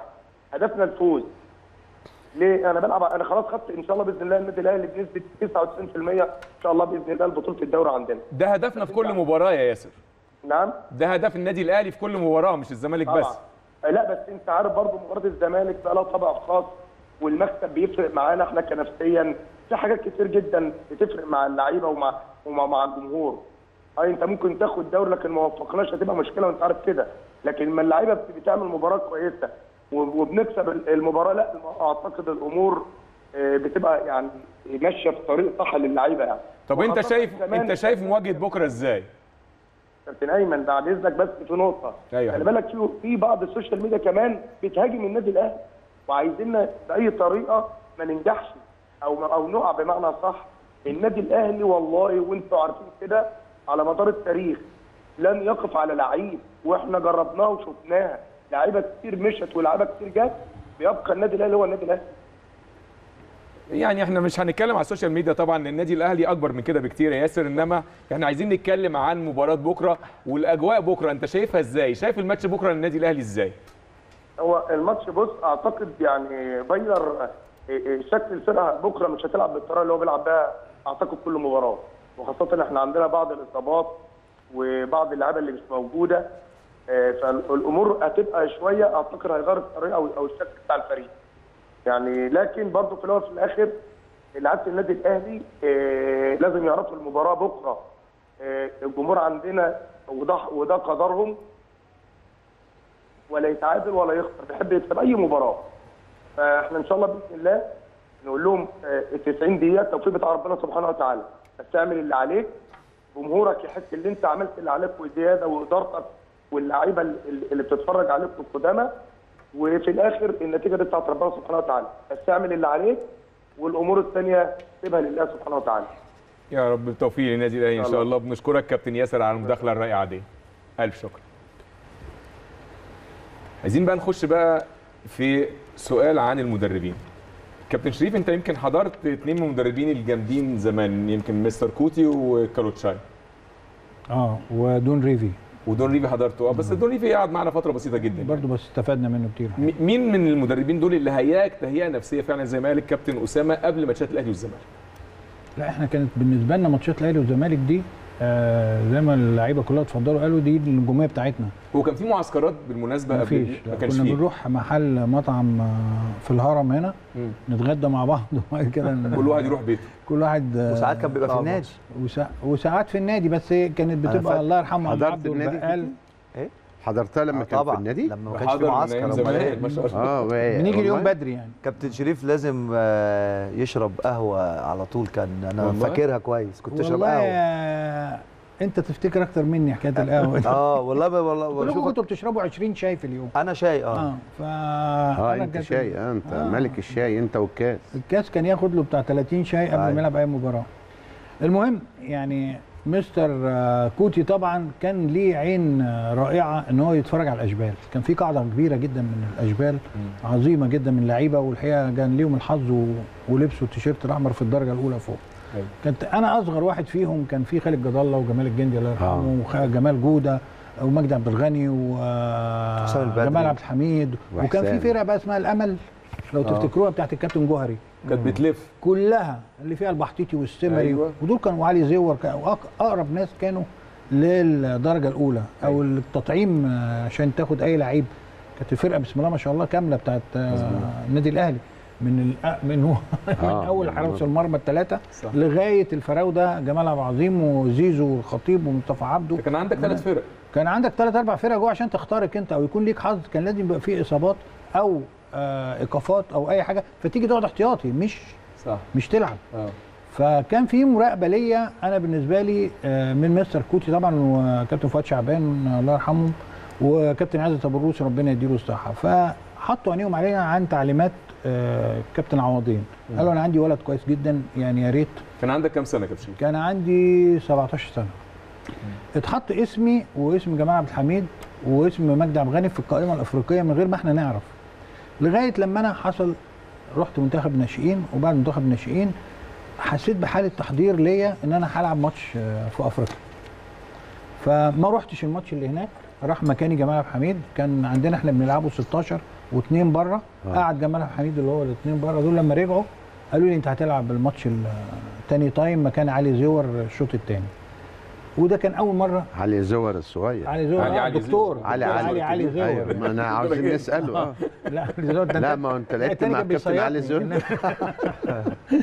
وجات لي الفرصة ولعبت تاني time بعد ربع ساعة اتأقلمت وبعدين إيه سبت ال wing right كنت بلعب مكان كابتن مصطفى عبده ما كانش بيلعب. أنا عدلت شمال يعني. فسبت نفسي لقيت نفسي رحت شمال كده. طاهر الشيخ لعب لي الكوره بالعرض. طرت عملتها جبتها جون في المقص. وكانت بدايتي.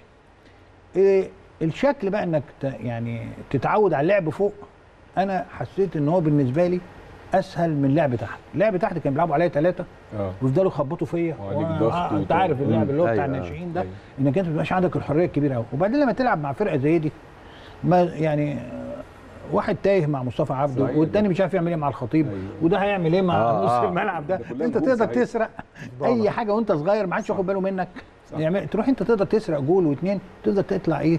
سلمة سلمتين ثلاثة بيحصل زهو للراجل اللي هو اكتشفك أيوه. وبيقول إن ده بداية فعلا وبذرة طيبة إن هو يقدر في الموضوع. وأنت وإمكانياتك بقى أنت وفنياتك. وأسامة طبعا أنا لعبت مع أسامة ولعبنا حتى لما الحادثة حصلت لي. أيوة. وأول ماتش رجعت جبت فيه جول وكان حظي كويس. وأسامة رقص الفرقة كلها وأنا والجون فاضي. وما ادهانيش برضه؟ وحطها في العارضة. ودخلت له في ال half time قلت له مش هغفرها لك طول عمري. فكان عندنا مجموعة الحقيقة لما بتلعب في وسط بتاع مش انت بس اللي بتشيل انت بتبقى حالتك اليوم هي اللي تقدر تشيل مباراة الأهلي والزمالك دي. انت النهارده اللي تقدر تعدي من صلاح وتعدي من إبراهيم يوسف وتعدي من الدنيا كلها وتهز. اللي أنا عايز أكلمك فيه بقى الفنيات. لما يكون عندك لعيب بيقدر يهز خط دفاع بيخليه مشوش مش قادر يبتدي يهاجم عليك أو يقدر مشغول فيك إزاي يمسكك إزاي ايمن انت كل جوالك اللي انت بتجيبها حد يقدر كان بيشوفك فين؟ سارق الفرق كلها. بدماغك شوف عاملها منين؟ آه، الدنيا معمولة إزاي؟ دايما مش بتخش من ناحية الشمال في العمق تروح حاطط كوره بدماغك أو أي حاجة. فدي كانت فنيات ودي حاجات كنا اكتسبناها من اللعيبة الكبار اللي إحنا لعبنا معاهم. أنت بقى عندك فرصة إنك أنت تعمل ابجريد لنفسك وتبقى نجم زي النجوم التانية اللي أنت كنت بتتفرج فيها وبتلعب معاها. الحقيقة أنا اكتسبت ثقة كبيرة قوي من كابتن مصطفى عبده وكابتن محمود الخطيب جنبي. ادوني ثقة غير عادية. حتى كابتن زيزو لما رجع يعادل آه قال لي عينك معايا في الملعب. آه ما تقلقش أنا بحب بحبك وبحب لعبك. ما ما تزودش عن كذا اعمل كذا. فكانت حتى التعليمات بتبقى يا أسامة في صالحنا. انت فرقتك اللي طلعت بيها يا أسامة كان كلهم مع بعض طالعين. أنا طلعت في وسط فرقة الحقيقة فتحت الباب لبقيه وأقوياء قوي آه كانوا جامدين جدا. وفتحت الباب لإخواتي اللي كنت بتمنى بلعب معاهم دايما في الناشئين وبتمناهم يكونوا جنبي. وبالفعل الباب اتفتح والثقة بقت موجودة. والحمد لله يعني كان الرؤية الأجنبية زي ما كلهم بيتمتعوا بمانويل جوزيه. أنا اتمتعت الحقيقة بهيجيكوتي وانطلاقاتي وبقيت من أحسن اللعيبة اللي موجودة مع كالوتشاي إيه، يمكن مباراة الأهلي والزمالك شهدت العديد من تألق الأفارقة كويس. بصورة خاصة. وعندنا تقرير دلوقتي إيه، عن الأفارقة اللي لعبوا في النادي الأهلي. وتأثيرهم على النادي الأهلي في مباراة النادي الأهلي والزمالك. نطلع نشوف التقرير. بس إحنا من أفريقيا برضو وب... آه طبعا. وبعدين نرجع نتكلم في النقطة دي. إن شاء الله. مجموعة اللعيبة اللي موجودة دلوقتي في النادي الأهلي الكابتن علي معلول إيه، جونيور اجاييه جيرالدو ديانج وبادجي. يعني لو إحنا خدنا علي معلول الأول علي معمول علي معلول يعني قدم ورق اعتماده لجمهور النادي الأهلي بصورة جيدة جدا. اولا تحس إن هو آه، مصري أهلاوي بقاله مثلا 20 سنة.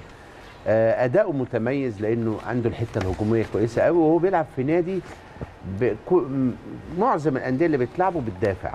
فهو بيبان كويس بصورة كويسة. يعني أنت بتتكلم على لأول مرة مثلا نادي كبير من الأندية يعني النادي الأهلي أكبر نادي في أفريقيا يجيب لاعب مدافع يبقى محترف. أنا أعرف المدافعين بيبقوا سرد باكات ممكن لما لاعب بالاحتياج في المكان ده لكن أنت الطرف من الأطراف اللي هو ظهير أيسر أو أيمن ما مش كتير تجيب لاعب محترف عشان يلعب في المكان ده لأنه بتحس إن المكان آه، يعني ممكن أي حد يأدي فيه ولكن علي معلول عمل للمكان رونق آخر عمل له شكل تاني. علي معلول خلاك تبقى عندك زيادة في اللاعبين اللي, اللي, بيزودك يعني حتة هجومية قوي وحتى في الحتة الدفاعية خلي بالك بيشتغلوا له بتوع نص الملعب ودي ودي ميزة في علي معلول نفسه يعني بيخلي اللعيبة بتوع الديفندرات بتوع نص الملعب عندهم ثقة ان يدافعوا له.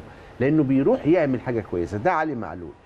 أما ديانج من اللعيبة اللي عاوز أقول لك اللي هيفضل طول الوقت من اللعيبة الكويسة وسنه صغير وهيقدر ده الهدف بتاع علي معلول السنة آه. اللي فاتت في نهائي الدوري. آه. يعني يعني الدوري. back left آه. وبيروح للمكان ده ده حاسة هداف. بيعمل متابعة. فعلشان كده آه، المتابعة بتاعته علشان كده بقول لك إنه من الناس اللي جم عملوا حاجة كويسة لل... للنادي الأهلي وغير مفاهيم اللاعب المحترف في الحتة الظهير يمين حتى على. مستوى الدفاع كابتن عادل طور نفسه في الحتة دي بقى بيدافع برضه بشكل كبير. وحاجة تانية كمان يا كابتن أسامة ودي مهمة إن ثقة اللاعب بتاع نص الملعب في اللعيب الظهير اللي بيطلع يعمل ناتج كويس بيدافعوا له كويس. دي حاجة. آه، ديانج من اللعيبة اللي أنا أشوف أقدر أقول لك هيعمل علامة. بمناسبة علي معلول يا كابتن عادل بص معانا أرقام علي معلول. يمكن آه. علي معلول جايب أربع أهداف عمل أسيست ستة وركلات ركلات الجزاء هو جايب ثلاثة من أربعة. تسديد على المرمى إيه، شايط 20 واحدة 11 منهم بين الثلاث خشبات. التمريرات الصحيحة 809 بنسبة 81% التمريرات البينية الصحيحة 25 عرضيات 63 وده أكتر لاعب في الدوري المصري من الزهراء سواء ال- الأيمن أو الأيسر عمل عرضيات. علشان عنده من أفضل اللعيبة كمان في التايمنج بتاع الخروج والطلوع. يعني في لعيبة بتروح وبترجع بتروح وبترجع. لا هو علي معلول من اللعيبة اللي بيروح في الوقت الفاضي فيه الحتة المكان عشان يعمل فيها الكروس الكويس. الحاجة التانية في علي معلول ما بيشتركش في اللعب كتير ودي مهمة. بمعنى يعني لازم نوضح الحتة دي علي معلول بيخزن كويس في اللعب. زي مثلا محمد زي مثلا محمد بركات. محمد بركات كان يركن شوية دقيقة ولا حاجة عشان يعمل يبقى عنده باور كويس. علي معلول من الناس دي. ما بيطلعش كتير. طلوع ورجوع طلوع ورجوع. عشان كده بيهدى. لما بيروح بيدي القرار الصح زي ده كابتن أيمن زي الإحصائية اللي حضرتك قلتها دلوقتي. أيوة. إحصائية جيدة من إيه؟ إنك أنت لما بتيجي تلعب اللعبة المظبوطة في الآخر لما بيبقى ال power بتاعك بيوصل لكام؟ يعني مو في لعيبة بيقعدوا يلعبوا في الملعب كتير كتير كتير فلما بيجي وقت التفنيش في الكورة بتلاقيه. نسبته قليلة. مظبوط. علشان بيبقى بيدخل 20 30% من ال power. علي معلول غير كده. لعيب ذكي قوي. آه أنا كنت عاوز حابب أتكلم على ديانج لأن ده من اللعيبة اللي هيعمل هيعمل طفرة كويسة قوي. للاعبي نص الملعب ال- اولا هو لسه ما جابش الحتة اللي عنده في ميزة عنده هو لسه ما جابهاش إن هو مهاجم كويس. أنت عارف إن هو مهاجم كويس جدا. سجل دلوقتي هو مسجل أهداف مع النادي الأهلي. آه في وهيطلع مباريات مهمة مباراة بيراميدز وأنت متأخر مسجل فيها لا هدف. والتكملة بقى يا كابتن أسامة خلي بالك. يعني هو بيكا ممكن بيسجل في الوقت الحالي في الحاجات الثابتة. صحيح. لكن التكملة بقى هتشوفه في الأيام الجاية فلعيب مميز. انت كمان اتفضل خلي بالك انت قلت نقطة كويسة قوي إن هو برضه لعيب كورة خلي بالك. آه. يعني هو مثلا هنا في صناعة هو جاب جول طبعا صناعة آه. الأهداف اثنين صناعة الفرص تسعة التسديد على المرمى خمسة من 12 التمريرات الصحيحة بتاعته نسبتها 84% علشان عنده برضو ميزة كويسة الرؤية. الرؤية في إيه؟ اولا ديانج ما بيجريش كتير مم. خلي بالك. مم. لأنه موهوب في حتة التمركز. بيتمركز كويس. في لعيب بيجري اللعيب اللي تلاقيه بيجري كتير قوي بيبقى التمركز بتاعه مش صحيح.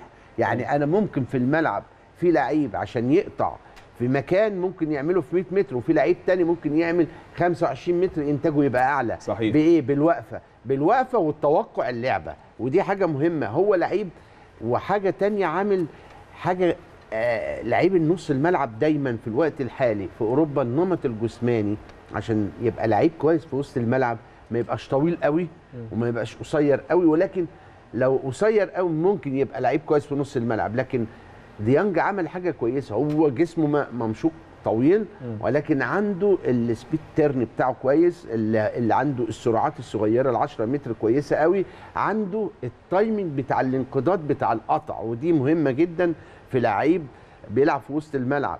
وحاجة تانية مهمة مش بيلعب man to man كعادة اللعيبة بتوع نص الملعب. ديانج ال man to man بتاعه بيبقى فيه فكر وخفية حركة وقطع قبل ما انت بتستلم. يعني إيه؟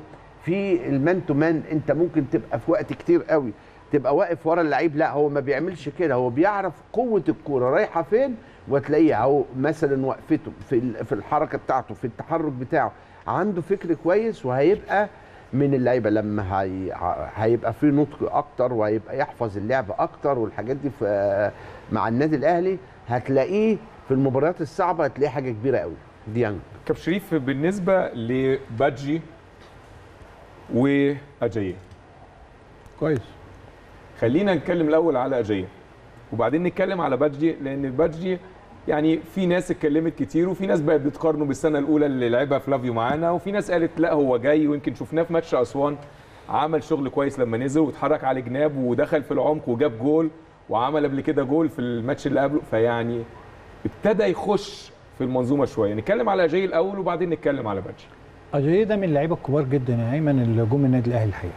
اولا شكله في التسليم والتسلم في الكرة والاحتفاظ والثقة اللي عنده إن هو لما بتجيله الكوره بيقدر يشوف اللعيبة اللي حواليه كلهم بشكل احترافي بي بيخلي للكوره معنى وخطورة وده شفناه وشواهد موجودة في كل مبارياته زي يعني الراجل ده لو ما كانش اتعور التعويرة الكبيرة ال- الاصابه اللي خدها في ركبته دي وإنه يرجع كمان تاني دي معجزة من معجزات ال- الدكاترة قالوا يعني إن الراجل ده جه على نفسه جدا ورجع.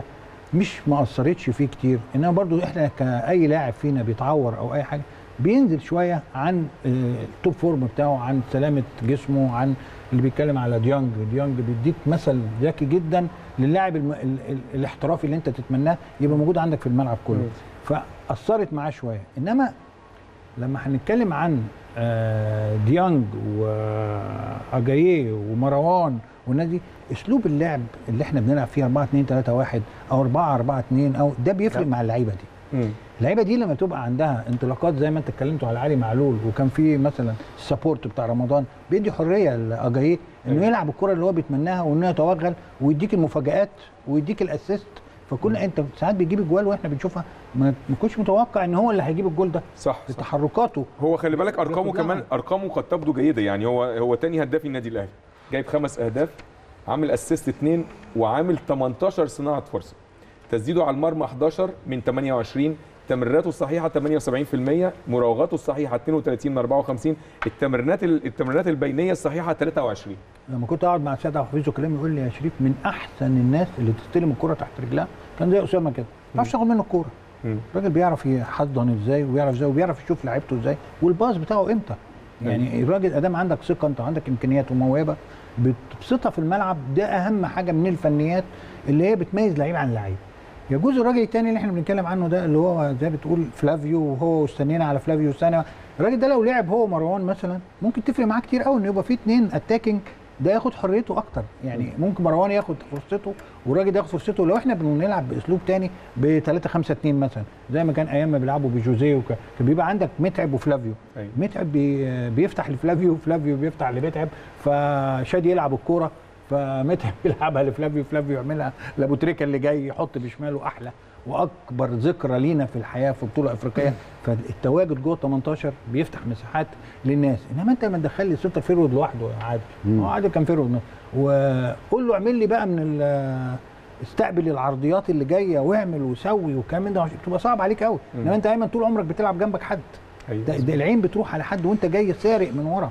أو أنا ببقى جاي خاطف من ناحية ال wing left أو أسامة بيبقى شايف أي حد جاي هو الزيادة العددية. كان في تمتع دايما بالحرية. إنما النهارده أنا لما ألعب ب forward واحد بيلعب على أربعة ورا فبتدي حتى فرصة إنه يروح يطلع ال back right من جنبك.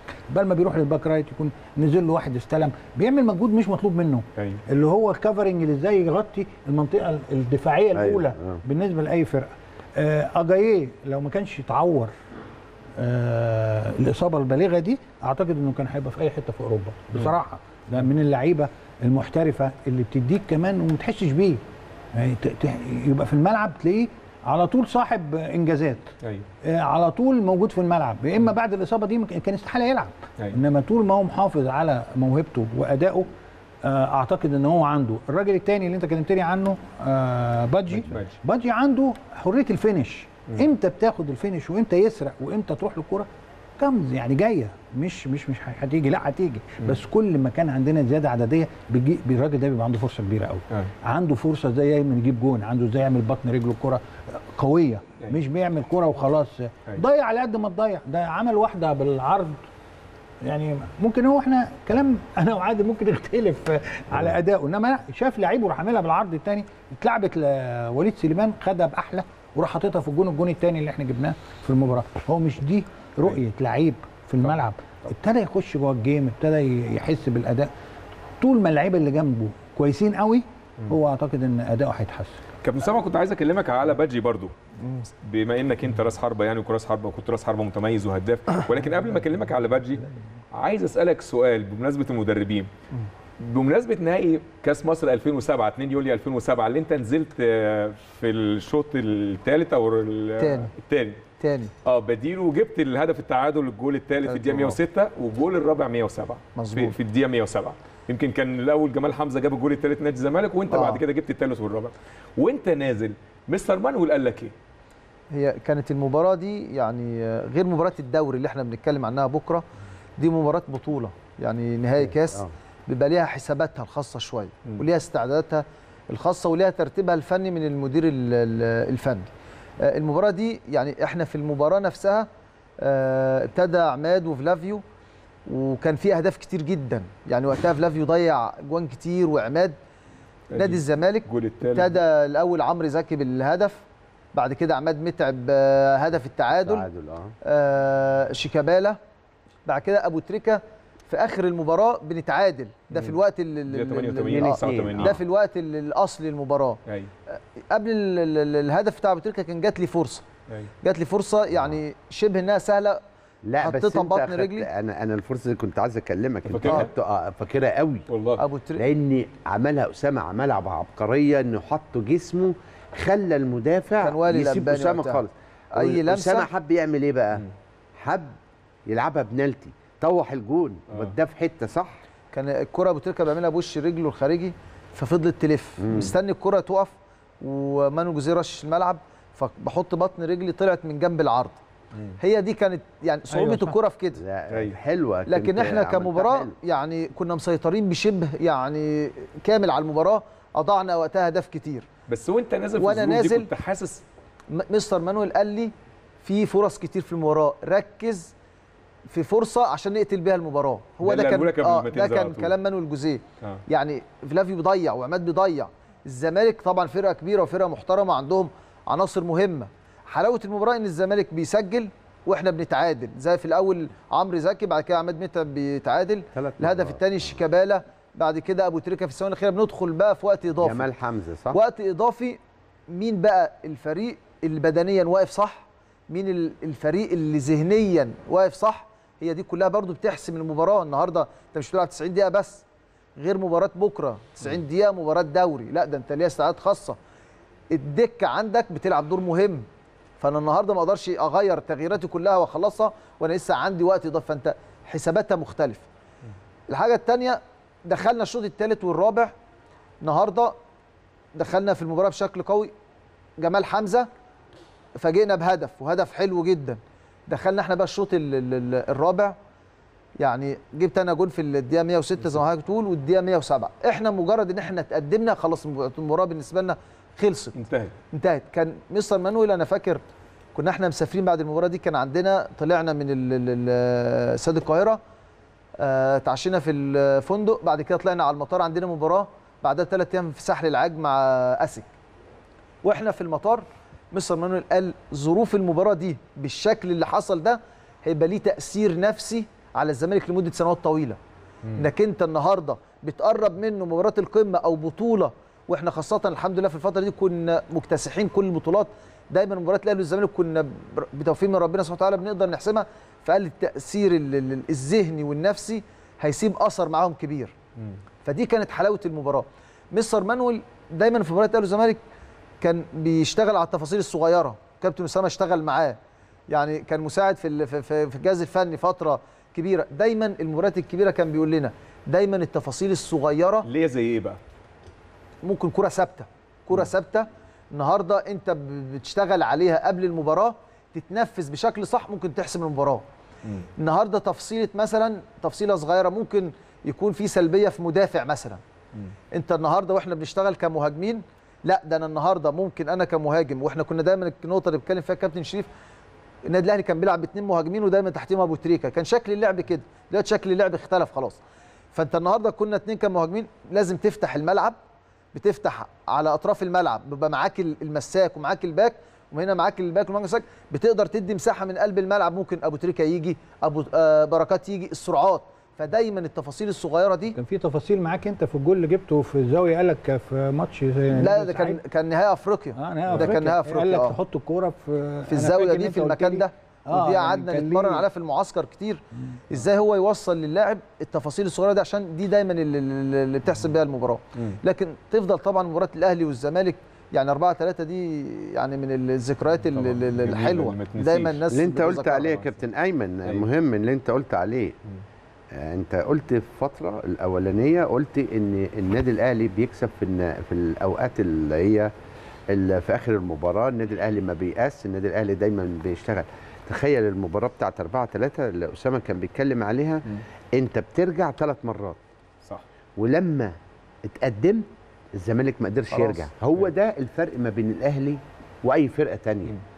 أي فرقة ممكن يتسلل لها ال- اليأس. انت ثلاث مرات بتعوض. يعني المرة الأولى المرة الثانية المرة الثالثة في مباراة واحدة. انت بترجع ثلاث مرات. أيوه المرة الرابعة لما انت وصلت انت جبت الجول ما حدش قدرلك لأنك عندك القدرة من بعد ما بترجع وتكسب عندك القدرة التنظيمية والنفسية إن انت بتركب على المنافس في الحتة الدفاعية. وبعدين ممكن تعوض بأهداف أكتر كمان. بس دي انت يا كابتن عادل ميزة لعيبة النادي الأهلي على مدار السنين كلها. أيوه ما أنا بقول لك يعني آه، هي هي جت آه، استثمارها في دي يعني.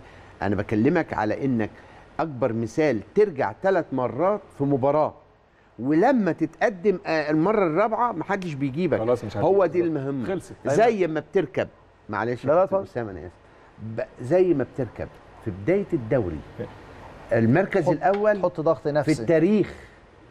لو شفت تلاقيها آه، آه، حاجات بسيطة قوي لو ركبت من أول أسبوع كأول النادي الأهلي خلاص يعتبر إنك أنت مش هتنزل إلا بصعوبة خالص ويمكن بتبقى حاجة غير يعني مستحيلة بتحصل. ركبت مركز أول يبقى البطولة بتاعتك. ايمن أنا بس آه، هنكمل كلامنا في ال- النقطة بتاعت بادجي. الأول. آه. بادجي الأول. آه. ولكن بعد هذا الفصل.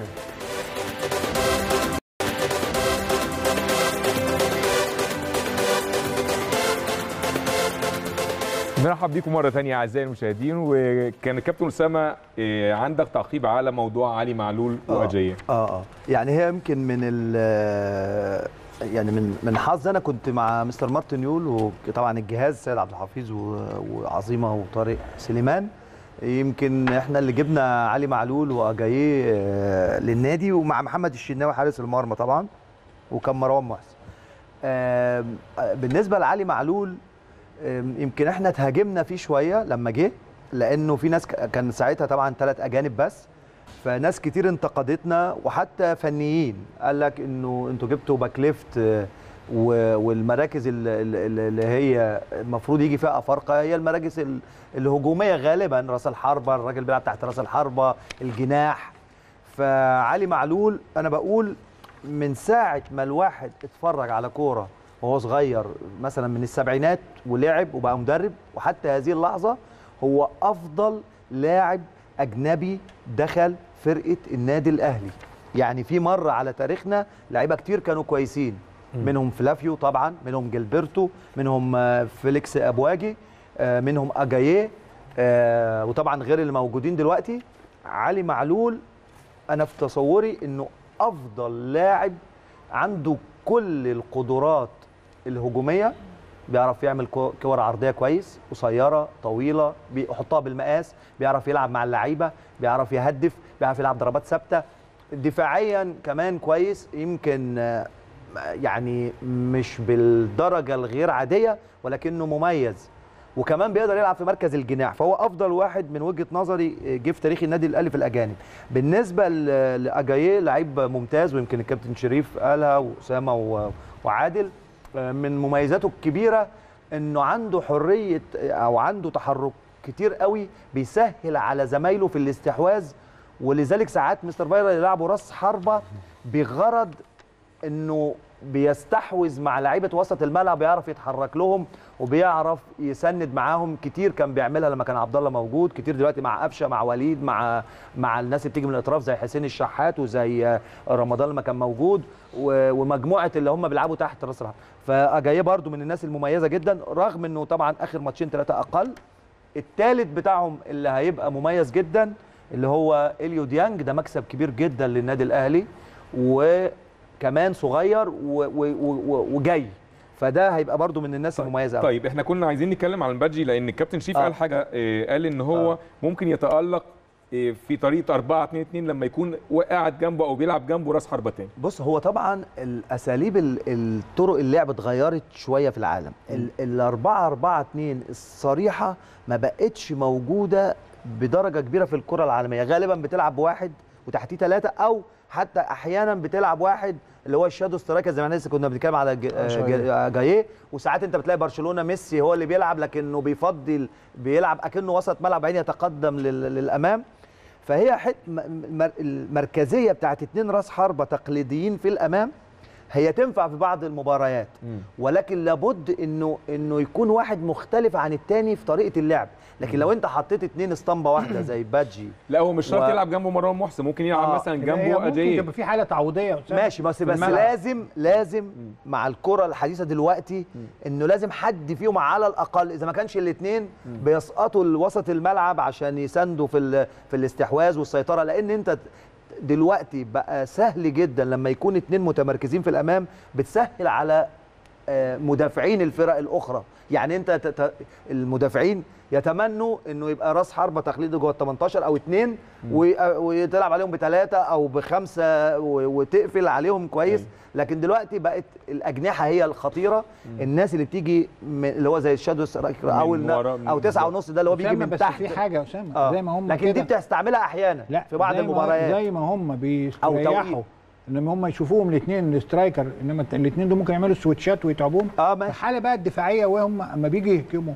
ال defender بتاع الفرقة الثانية انت بتشوف فرق بتوصل لغاية نص الملعب عشان في defender آه مهاجم واحد زي إبراهيموفيتش مثلا. أيوة. لو فضل لوحده قدام أي حد هيطلع من الأطراف مش هيلحق يجيبه مش هيلحق إنما بيبقى في اتنين عم عمودين واقفين بيصدوا أول خط بالنسبة لك دفاعي. دي بيبقى لها ميزة كبيرة. خلينا بس في الحالة دي sorry يا أسامة على بادجي بس في آه نقطة. في الحالة دي حكاية إن أنا بيبقى عندي إصابات كتير أو عندي لعيبة أنا عايز يبقى عندي دقة قوية عندي بتاع يمكن. آه. الفكر هنا بيغير في أسلوب اللعب وده صعب جدا على فايلر أو على أي حد إنه فجاه يفاجئنا بكرة باسلوب لعب جديد. يعني دي بتبقى خل- خلينا خطر نقول- برضه في نفس الوقت. اللعيبة متعودة عليها اللعيبة. إنما إحنا بنتكلم في حالة بادجي. إمتى يتميز وإمتى ي- لما بيكون في ال shadow اللي بنتكلم عنه زيادة. أو اللي هو بيوري الكرة ما حدش واخد باله منه يقدر يعمل 1 2 سريع يقدر. زي ما عملها في ماتش سا- سان داونز أيوة. سان داونز حصل له ال support وحصل له الحاجة فبقينا لينا ال leading وإحنا كسبنا بالشكل ده. فلو كان فضل مستمر بهذا الشكل والفرقة فضلت يا أسامة بنفس هذا الشكل أعتقد إن إحنا كان هيبقى الراجل ده هنشوفه أكتر. أو نقدر إحنا كمان نقيمه مش أكتر. هنقول أكتر يا باشا ده خلينا إحنا نتكلم هو دخل فريق النادي الأهلي في شهر واحد. طب كورونا النهارده في شهر ثلاثة مظبوط. من شهر واحد شهر ثلاثة في شهرين وأنت برضو دخول لاعب أجنبي في نص مظبوط. الموسم أنت محتاج وقت عشان يتأقلم. تمام. دخل في في أوقات صعبة وأثبت. أو أو شفنا منه زي ما بيقولوا المكنة طلعت قماش. شفنا مباراة صن داونز كانت في استاد القاهرة المباراة الأولى. دي دي. نزل الشوط الثاني صنع ركلة جزاء. كان الهدف الثاني لعلي معلول اللي سددها وكان ه- يعني في يعني إنتاج. صنع آه في اللي إنتاج. بقول لك عليه. الحاجة الثانية مباراة بيراميدز. نزل في الدقيقة 80 ص- صنع الهدف بتاع آه، ديانج وهو سجل هدف احتسب ليه لما برضه ديانج سددها وخبطت فيه وغير اتجاهها. نشوف بعد فترة التوقف. دخل النهارده مباراة الإنتاج الحربي برضه صنع الهدف بتاع عمرو السولية اللي سددها. ال- الهدف بتاع أسوان سجل هدف معنوياته بدات ترتفع. شفنا في المباريات الودية برضو بدأ فايلر يديله مساحة أكبر.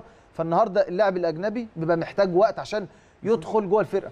في برضو نقطة مهمة جدا في أليو باجي النادي الأهلي ساعات لما بيضغط في وقت من الأوقات بنشوف دلوقتي الكرة الطويلة. النهارده اللي بتتعمل على باجي إنه يقدر يستلم محطة. تحت ضغط أو محطة أو النهارده يقدر يحرك بدماغه يمين أو شمال وعمل الشكل ده أسامة في أفريقيا كمان عمله في أفريقيا مباراة سان داونز اللي هناك شيء لعب فيها بشكل أساسي 90 دقيقة. أرهق 85 الدفاع دقيقة. أدى بشكل برضه شكل جيد فالنهارده لو بنتكلم عن أليو بادجي عشان نقدر نحكم عليه بشكل كبير لسه. لا لسه. يعني النهارده خامة مبشرة قدرنا نشوف منه حاجات كويسة في الأوقات ال- ال- القليلة اللي لعب فيها في ظل إن هو دخل الفرقة زي ما بقول ما خدش برضه وقت طويل عشان يقدر يتأقلم لكن خامة مبشره إن شاء الله عايز يعني نقدر حاجة. على حاجة بالي. عادل بس قبل ما تضيف مم. وعايز أتكلم على واحد تاني كمان. طب خليني مروان أكلمك على محسن. بادجي بس. ثانية الأول. خليك تتكلم. مروان محسن مش ممكن هيشيل لوحده. طبعا. استحالة. مساندة مهمة طبعا. مساندة ال support لأي forward عندي في مصر. لازم يبقى معايا واحد تاني بيجي لي زي السولية. السولية أول ما بيقطع بيخش جوه العلي معلول. وبتتلعب لبره بيروح. حاططها ببطن رجله. مين اللي مين اللي خلى العيون كلها راحت على ال forward إنما ما حدش شاف سولية وهو جاي. اتفضل يا. بص يا كابتن هقول لك حاجة مهمة. هي موضه مدرب أو style مدرب.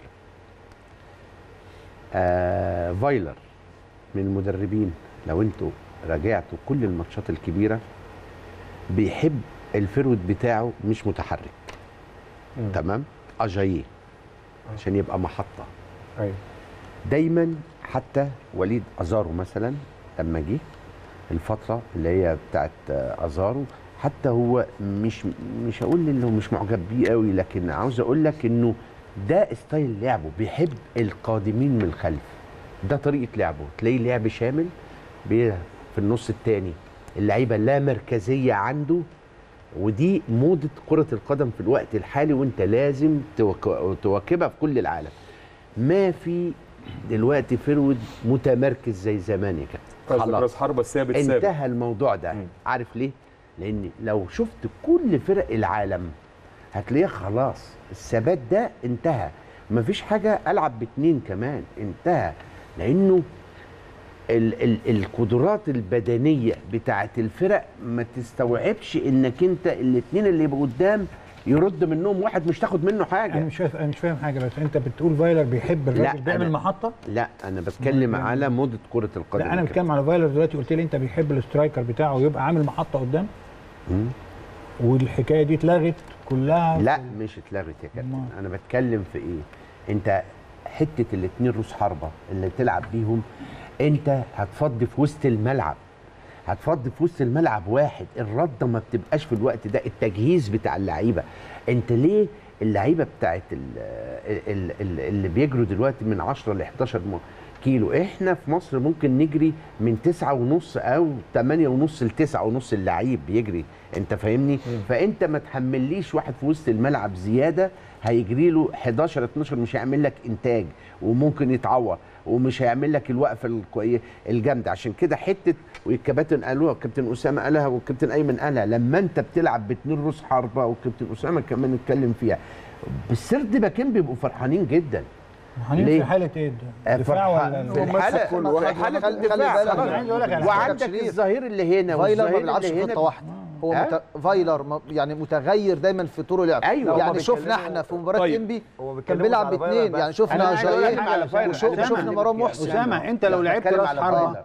والكره ما جاتلكش خمس دقايق كده أو ثلاث دقايق بتعمل إيه؟ تروح ساقط لتحت تنزل. عايز تعمل 1 2 عايز تاخد أي حاجة. بس في ناس كاب- أنت لو الكره ما جاتلكش عادل شريف، لمدة دقيقتين ثلاثة بس- كابتن اسامه بعد اذنك عايزين عايزين قبل النقطة دي آه. قبل الماتش القمة ال 120 عايزين نتكلم عن مشوار النادي الأهلي ومشوار نادي الزمالك في الدوري.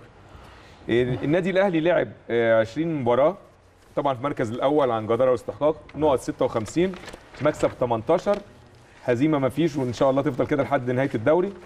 تعادل مباراتين طبعا صاحب أقوى خط هجوم 52 هدف وأقوى خط دفاع عليه خمس أهداف. لو بصينا لنادي الزمالك هنلاقيه لعب 20 مباراة المركز الثاني نقط 39 نقطة كسب 11 مباراة اتهزم ثلاث مباريات تعادل والتعادل عنده كبير شوية ست مباريات ليه 25 هدف يعني معنى كده إن النادي الأهلي دبل دبل ويزيد كمان وعليه 14 هدف. لو بصينا على قايمة النادي الأهلي لمباراة بكرة هنلاقي في حراسة المرمى محمد الشناوي علي لطفي مصطفى شوبير خط الدفاع محمود وحيد علي معلول أحمد فتحي محمد هاني ياسر إبراهيم رامي ربيعة أيمن أشرف. خط الوسط عمرو السولية حمدي فتحي أليو ديانج عربي بدر وده تقريبا الناشئ الوحيد اللي موجود محمد مجدي قفشة جيرالدو وليد سليمان جونيور اجاييه وخط الهجوم مروان محسن وآليو باجي قائمة الزمالك مباراة الأهلي أبو جبل جنش محمد صبحي ده اللي حراسه المرمى محمود علاء الونش عبد الغني حسام عبد المجيد حازم إمام عبد الشافي طارق حامد فرجاني ساسي زيزو أوباما اسلام جابر أشرف بن شرقي ونجم حسام أشرف مصطفى محمد اسامه فيصل كاسونجو عمر السعيد. لو استعرضنا آه، قائمة النادي الأهلي عايز كل واحد فيكم يقول لي التشكيل المحتمل من وجهة نظره. ليه أو الأمثل من وجهة نظره لمباراة بكرة. الأمثل ولا ولا من وجه ولا لا من وجهة نظرك وجهة نظرك الأمثل من وجهة نظرك ده هو في الآخر خالص هيبقى التشكيل آه، ماشي. اللي هو بتاع فايلر. ماشي. ولكن هديكم فرصة تفكروا ولكن لحد ما تفكروا هنطلع فاصل نرجع لكم مرة تانية.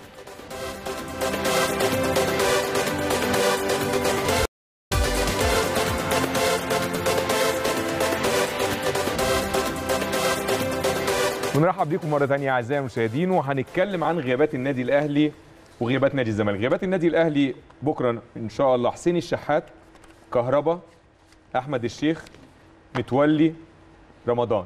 غيابات الزمالك أنا شايفها مش مؤثرة قوي. يعني عبد الله جمعه وده ما كانش بيلعب بصورة أساسية. يلعب محمد عبد الشافي. عبد الله جمعة ثلاث انذارات.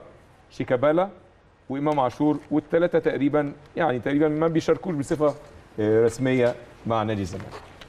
آه، كاب شريف إحنا اتكلمنا عن التشكيل اللي أنت شايفه من وجهة نظرك للنادي الأهلي في مباراة بكرة. أنا عمري ما قلت تشكيل ومستر فايلر مشي عليه. عنده. تشكيل لوحده. يعني أنا. عايز أقول مروان محسن هيلعب بكرة. ما الاقيه ب... ما كتبتش أنا مروان. كتبت كتبت اجاييه قول لنا التشكيل أنا. كتبت اجاييه آه. بكرة عليه حاطط مروان لا قول لنا التشكيل اللي أنت اخترته. العادي الشناوي وفتحي وياسر آه، إبراهيم وربيعة ومعلول. قدامهم اليو ديانج يمينهم وشمالهم فتحي وسوليه كويس؟ جيرالدو وقفشة واجاييه ده ما أقدرش لا قولها مرة ثانية بعد إذنك معلش معلش. الشناوي آه. آه، أحمد فتحي مم. ياسر إبراهيم وربيعة. معلول. أيمن أشرف يا لا أيمن أشرف آه، لا. أنت كده. إليو ديانج آه. سولية آه، حمدي فتحي.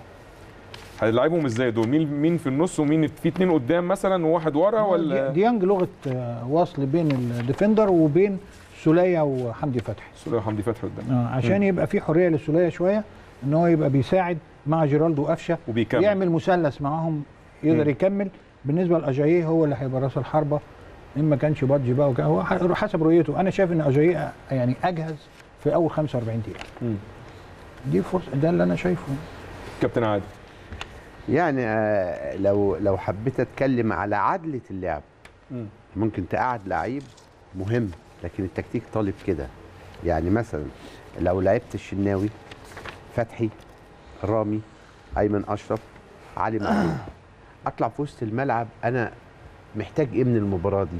محتاج إن أنا أضغط على الزمالك ولا أعمل إيه؟ فأنا عشان كده هلاعب اتنين defender ات اللي هو السولية السولية ومين؟ وديانج. السولية وديانج. وديانج. وأخلي حمدي فتحي معايا بره. ليه؟ علشان أعدل طريقة لعب لأني ما ينفعش في مباراة بين بين يوم وليله طيب بستاذنك بس معلش. هناخد تشكيل الكابتن شريف الأول عشان ينزل ماشي okay وبعدين. عشان نشوف بس الفروقات. آه. ماشي ناخد تشكيل الكابتن شريف في الأول يا سمير. ماشي. قول يا كابتن شريف بعد إذنك التشكيل تاني. شناوي. شناوي. أحمد فتحي. أحمد فتحي. ربيعة وياسر إبراهيم ومعلول. مم.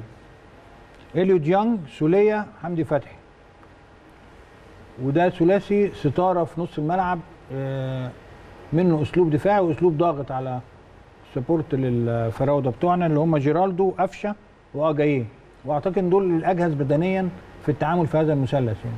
مم.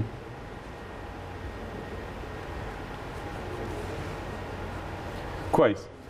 ماشي. إحنا كابتن شريف قال تشكيل من ضمن تشكيلات. أو من تشكيلاتنا الخمسه يعني.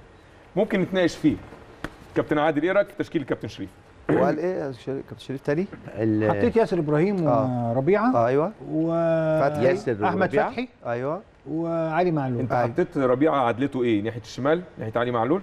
لا. قريب من لا علي لا. معلول؟ لا. لا، لا، ايمن يا ايمن اشرف هو ناحية معلول. موجود كنت هنحطه آه ناحية انت حطيت ياسر ياسر إبراهيم و... ورامي ورامي حر. يعني ياسر هو المساك أيوه أيوه كويس؟ ناحيه الشمال والتاني آه. ناحيه يمين والتاني ناحيه أيوه. اليمين ما أيمن أشرف موجود.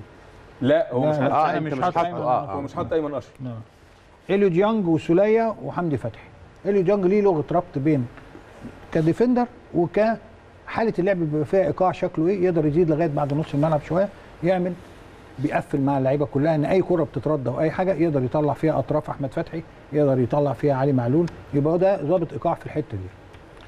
آه، سولية وحمدي فتحي ليهم الحرية في السويتشات مع بعض. مين إمتى بيبقى فيه مهاجم فيهم ومين هو اللي بي بيساعد في حتة نص الملعب؟ وانه يملاها ما يبقاش في إيه فراغات كتير قوي لساسي أو بن شرقي. يلاقي دايما في ناس عندها سرعة تقدر تجاري اللعيبة دي. أنا لما سألتك على موضوع رامي ربيعة أنا بسألك انت حاطه في أنه ناحية مش معنى. معلول ان أنا قصدي العدلة يعني. العدلة بتاعته.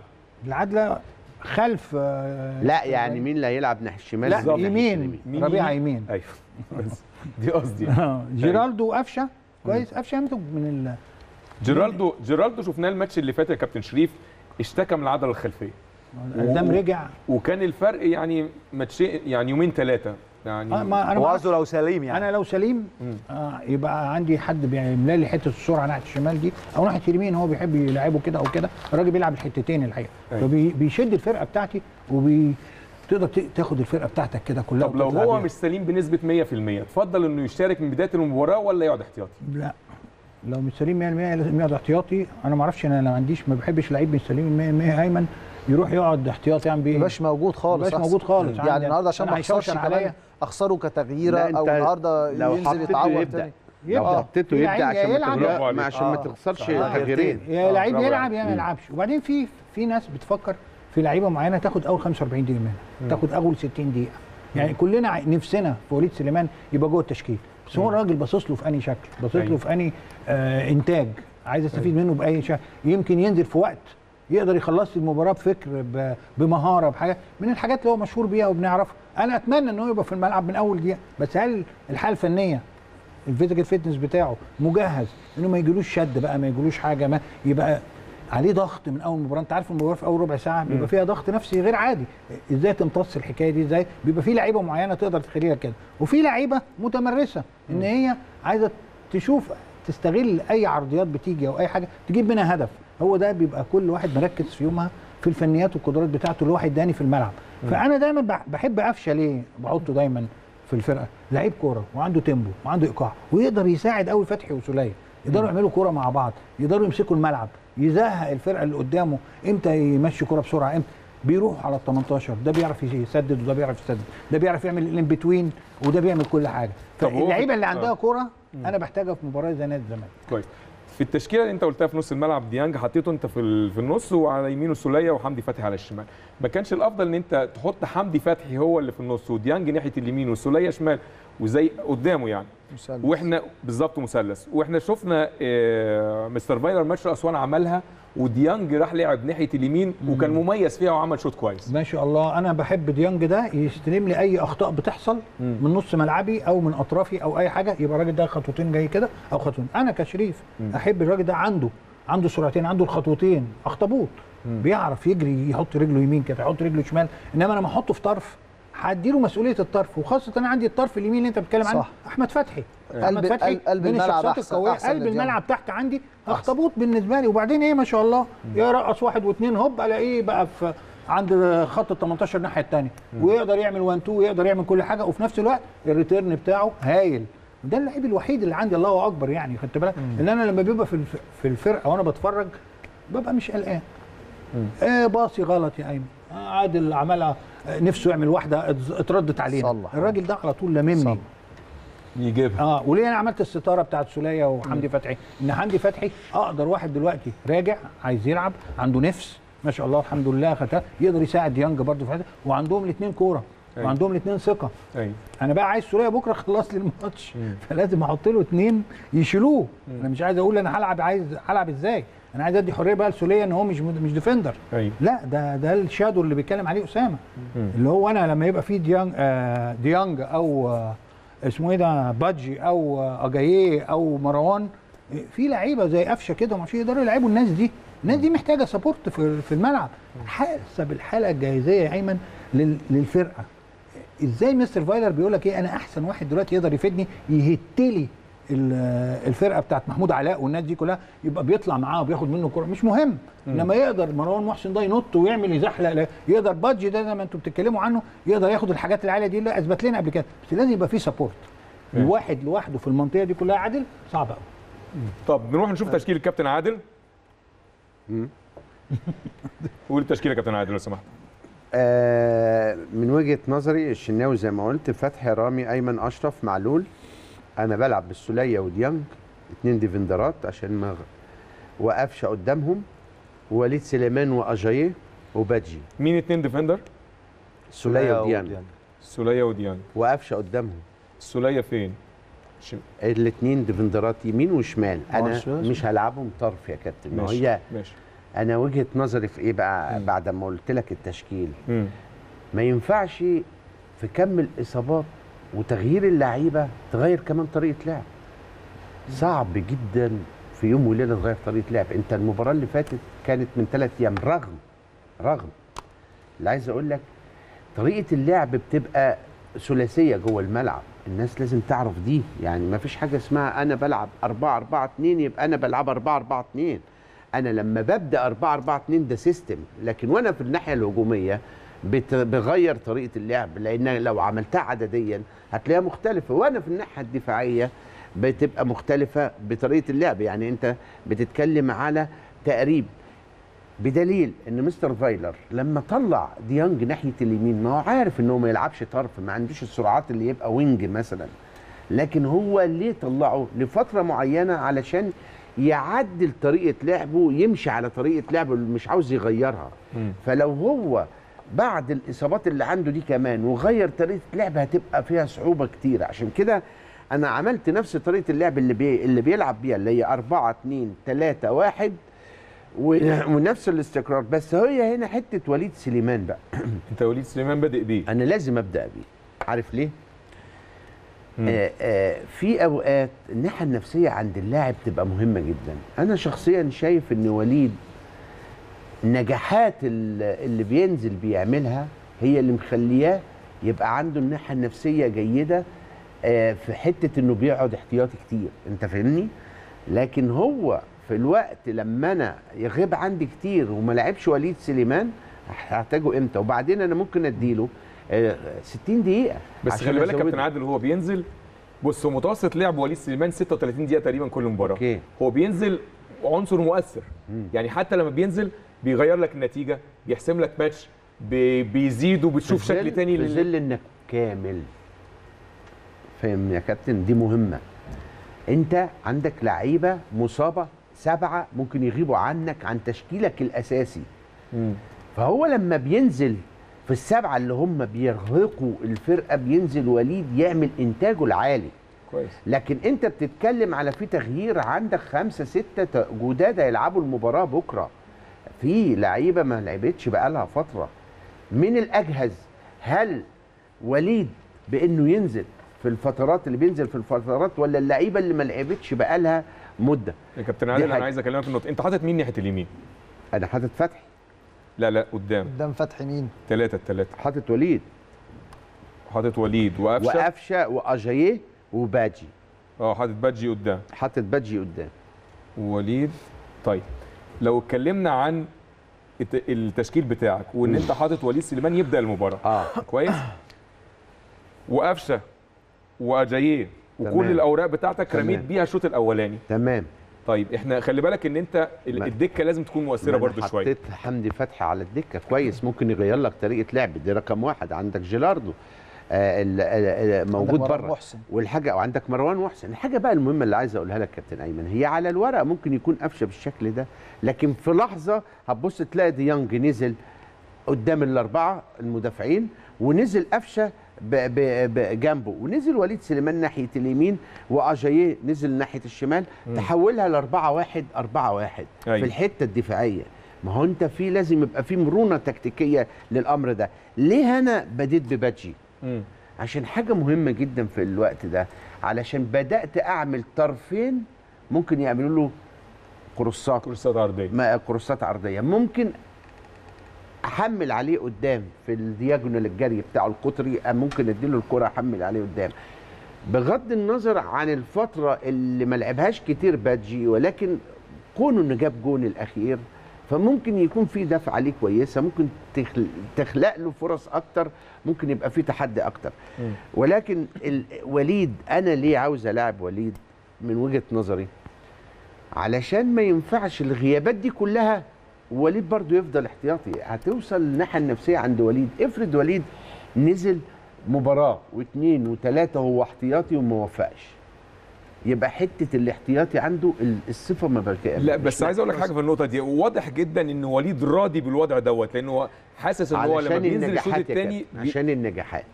عشان. نجاحات عشان نجاحات وليد. بالظبط. آه، آه، أنت لو فاكر وليد صلاح الدين جه عليه لحظة مع هارس ألان هارس أيوه لما جه عليه لحظة وليد صلاح الدين كان بيقعد احتياطي وبينزل يكسبك بينزل يكسبك بينزل يكسبك.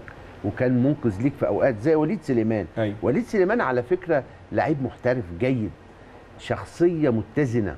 اللي بيخليه يعمل كده إن هو شخصية متزنة يا كابتن أيمن. أيوه حبيبي. ولكن ولكن أنا في ظل الغيابات دي كتير وما لاقيش وليد يبدأ المباراة أنا شخصيا.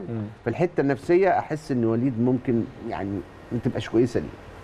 كابتن أسامة تشكيلك السري اللي انت كنت مخبي الورقة آه، زي ما كنا آه. إحنا امتحانات ثانوية عامة آه. ومش عايز توريه لحد. ممكن تقوله لنا بقى؟ أنا أقول لك وجهة نظر أنا. أنت لما بيحصل آه، قول لنا تشكيلك الأول. ما أنا هقول لك لما بيحصل غيابات. ما أنا هقول لك أنا بنيته على إيه. طيب. لما بيحصل غيابات وبالذات غيابات النادي الأهلي في مم. منطقة الأطراف. مم. حاجة من اتنين. يا بتغير بعض مراكز اللاعبين كويس. كمدرب بتحاول تغير بعض مراكز اللاعبين كويس. أو تغير طريقة اللعب. مستر فايلر معظم الماتشات بيلعب 4 2 3 1 أيوه. فالأفضل إنه يستمر بيها لكن ممكن يلعب 4 3 3 بيحط ثلاثة ارتكاز. أنا. قلت لك يا تغير مراكز لاعبين أو تغير طريقة لعب. أيوه. أنا بنيت ان إن الفرقة لازم في البداية تبقى قوية جدا ولازم يبقى عندي احتياطي كويس جدا خاصة كويس. إن دلوقتي في تغيير خمس لاعبين كمان يعني في خمس لاعبين. أنت ممكن ما تقدرش تستعمل أنت كأهلي في ظروف الغيابات دي ممكن ما تقدرش تستعمل الخمسة. كويس. فلازم يبقى في ناس مؤثرة بره. فأنا ابتديت بالشناوي ماشي. هاني رامي ربيعة ياسر إبراهيم أيمن أشرف. في نص الملعب أليو ديانج والسوليه والثلاثه اللي تحت رأس الحربة أجاييه وقفشة وعلي علي معلول. معلول. أيوه وقدام بادجي. أنا أنا هقول لك وجهة نظري أنا الشخصية. مم. أنت عندك مشكلة في الأطراف. مم. مشكلة في الأطراف الملعب. أيوة. فعلي معلول من الناس اللي بتجيد مركز الجناح الأيسر. وأنا كان عندي تجربة شخصية معاه. أنا مسكت ماتش اسك أبيجان آه، بعد آه، مستر مارتن يورما راح. ولعبت صبر رحيل وقدامه علي معلول. عمل مباراة غير عادية. وتعادلنا في اسك 0 0 كانت آخر مباراة. تعادل سلبي. وبيلعب في منتخب تونس أحيانا كده وبيلعب يعني بيقدر يلعبها مش مش مميز. تاني حاجة علي معلول بقى من مفاتيح لعب النادي الأهلي اللي الزمالك بيركز عليها قوي إنه يوقفها. طبعا. والماتش اللي فات بتاع السوبر لعب له زيزو ناحية الجناح اليمين عشان هو بيجري أكتر من بن شرقي فتملي قافل عليه. بيخليه يطلعوا عشان ما يتقدمش كتير. أيمن أشرف لما يلعب في مركز الظهير الأيسر رغم إن هو في ال back في في القلب الدفاع أفضل أيمن أشرف مش مطلوب منه بقى إنه يهاجم كتير. مطلوب إنه يتمركز كويس إنه يساند علي معلول في الحتة الهجومية بشكل معين لكنه مأمن مع ياسر إبراهيم ورامي. وأنا قلت رامي وياسر ليه؟ لأن راس الحربة بتاعه مصطفى من أميز حاجات عنده إنه بيلعب بدماغه. كويس. فياسر ورامي عندهم التميز ده أكتر من ياسر. مم.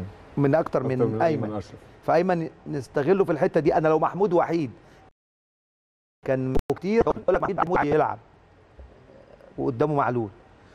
بالنسبة لقفشة أنا عن نفسي مش عايز أطلعه من المنطقة اللي هي تحت رأس الحرب. مصدر خطورته. والماتش اللي فات كان أفضل فترة ليه لما كان بيلعب تحت رأس الحرب. مظبوط.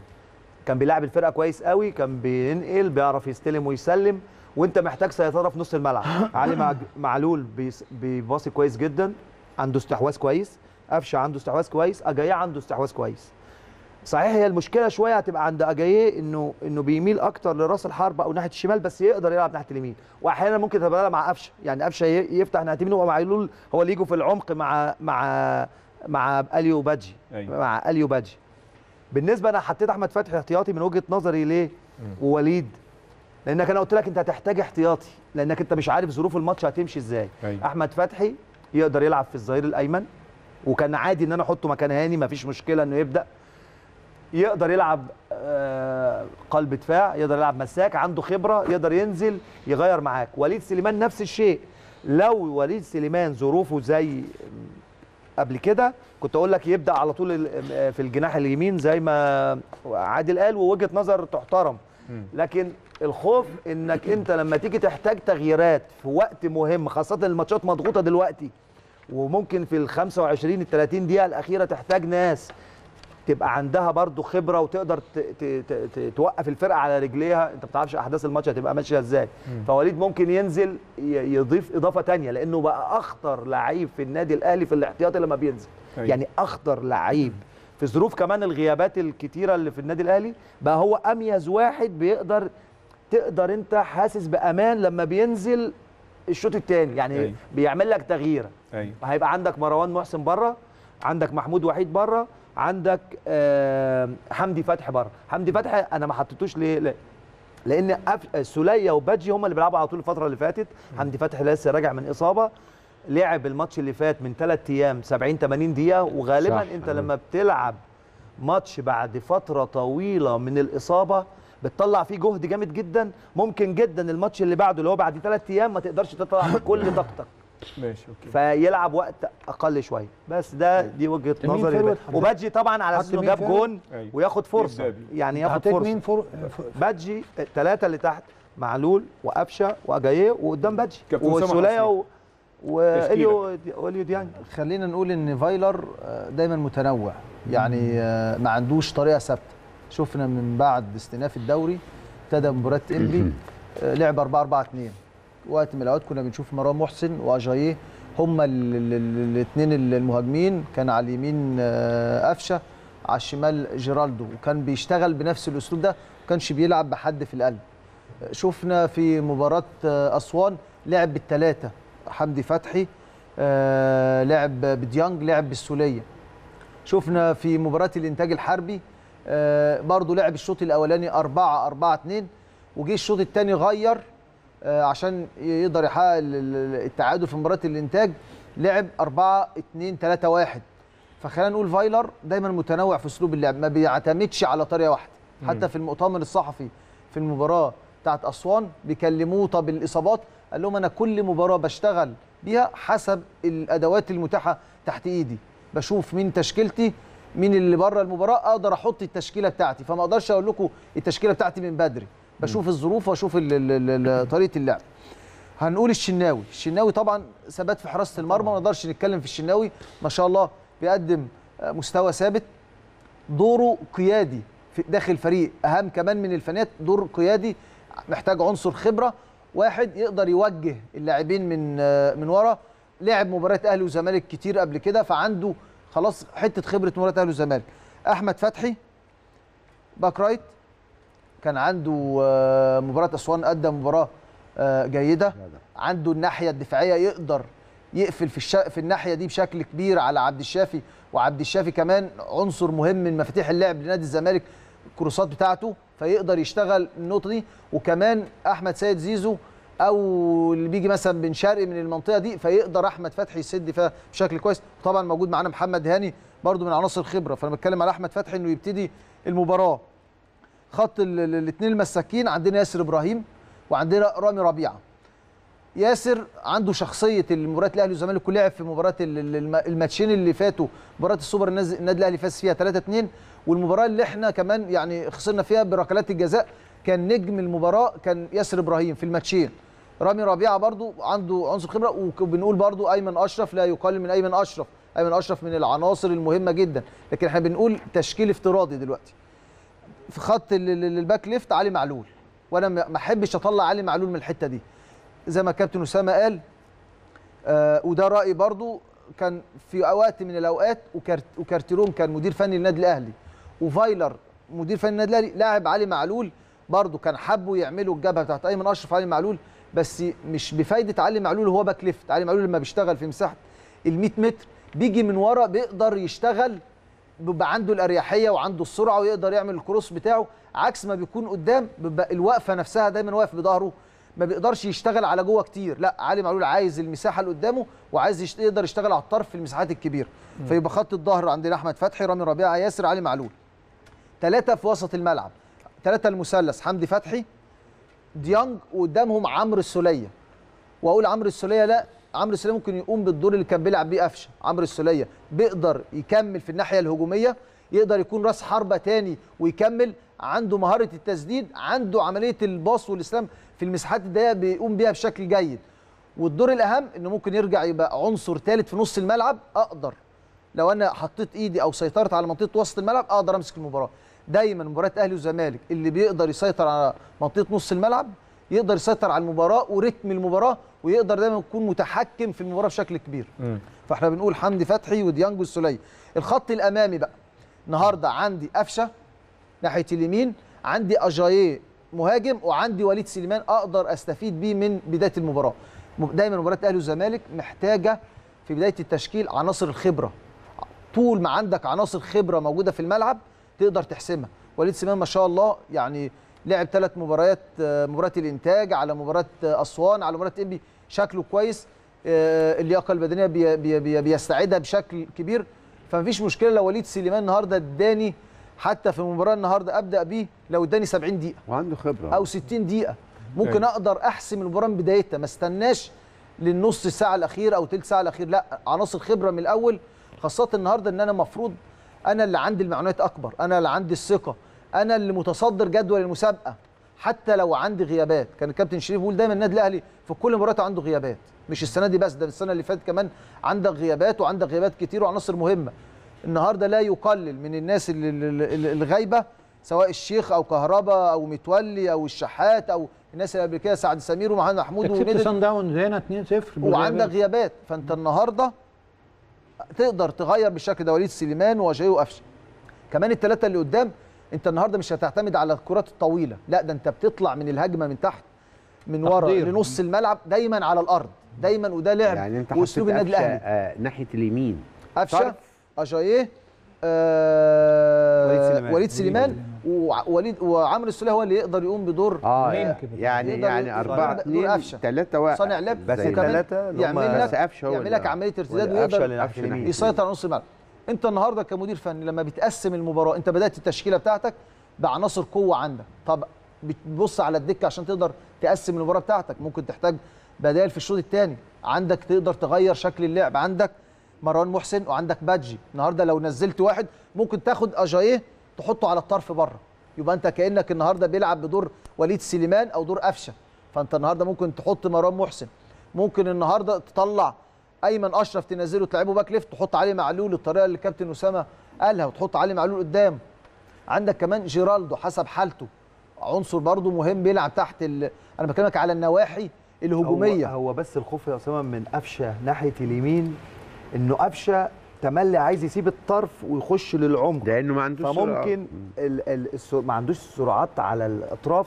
وبعدين وليد سليمان بقى برضه أقرب للعمق. فأنا الخوف إن يبقى كلها في العمق هتبقى ال ال في المنطقة اللي هي في قلب الزمالك. لكن الأطراف هتبقى شوية. دي أنت نقطة قفشة. لما يلعب هنا مش هيطلع عبد الشافي خلاص. عبد الشافي هيفضل عنده ملتزم التزام دفاع هيفضل واقف. ولا ولا خلي قفشة في العمق. وطارق طارق آه، حامد يبقى مشغول بيه تملي إن هو صانع اللعب بتاع النادي الأهلي وخلي طارق حامد آه، مش قادر يلعب على بقية الناس يعني هو مشغول بقفشه تملي خلي بالك وإحنا بنقول التشكيل قلنا آه. الأول إن فايلر ما عندوش خطة ثابتة ولا آه عنده عناصر ثابتة طبعا ودايما بيفاجئنا بكل مباراة حسب ظروفها وحسب يا وحسب كابتن. تشكيلها هو في سؤال يا كابتن أسامة أنت وديت قفشة ناحية اليمين علشان تظبط نفس ال ال ال ال طريقة اللعب اللي آه. هو ال system بتاع فايلر آه انت لو لو هو مع لو عنده طر- طرق متغيرة ما كنتش حطيت قفشة بره خلي طبعا. بالك من دي آه. فانت حطيت قفشة عشان تعدل نظر طريقة. لعب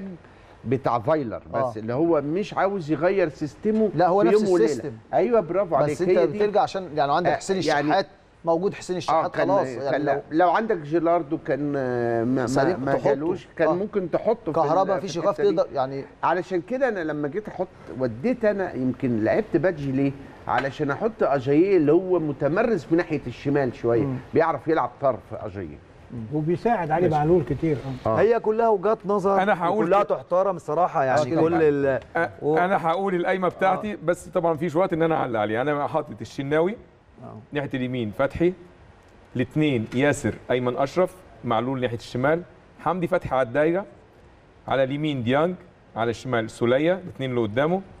اجاييه ناحية علي معلول أو قدام علي معلول بادجي قدام ومحمد هاني ناحية اليمين على عبد شلت قفشه الشافي خالص؟ شلت قفشة حاطط بص. حاطط اثنين هو قفشة. وليد سليمان آه، أنت عامل جبهتين. هي بص هي فكرة أنا قلت لك إيه؟ لا جاي من لا لا أنا أقول لك بس. لا لا أنا هقول لك بس.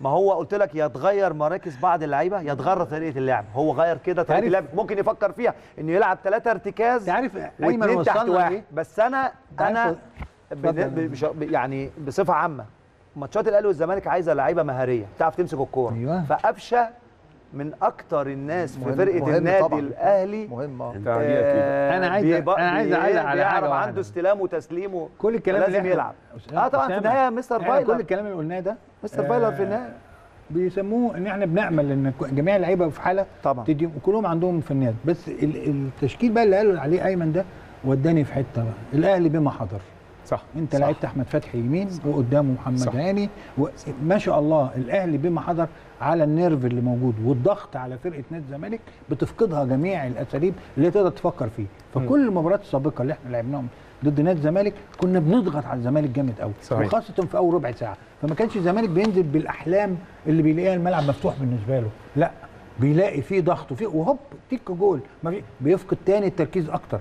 بيبتدوا يكلموا بعض بيبتدوا يتعصبوا بيبتدوا يروحوا للواقع اللي هو في فرق كبير قوي بين الامكانيات والخبرة بين الفريق ده وبما إنك اتكلمت عن الواقع هيبقى في الآخر الواقع هو القايمة بتاعه مستر فايلر اللي هيلعب طبعاً،. هو أنا قلت لك. عمرنا ما قلنا كده. شريف أهم حاجة. أهم حاجة. من المباراة السابقة كانت في شهر اثنين أيوه. لشهر 8 الحمد لله اتبنى كباري كتير. أهم حاجة إن المباراة تقام إن شاء دي الله. اهم حاجة. آه آه آه. أنت لكل حد خلينا خلينا دلوقتي نطلع تقرير عن الشناوي وأبو جبل. وبعدين نرجع نستقبل خبيرنا التحكيمي كابتن ناصر عباس والحديث عن طاقم التحكيم غدا.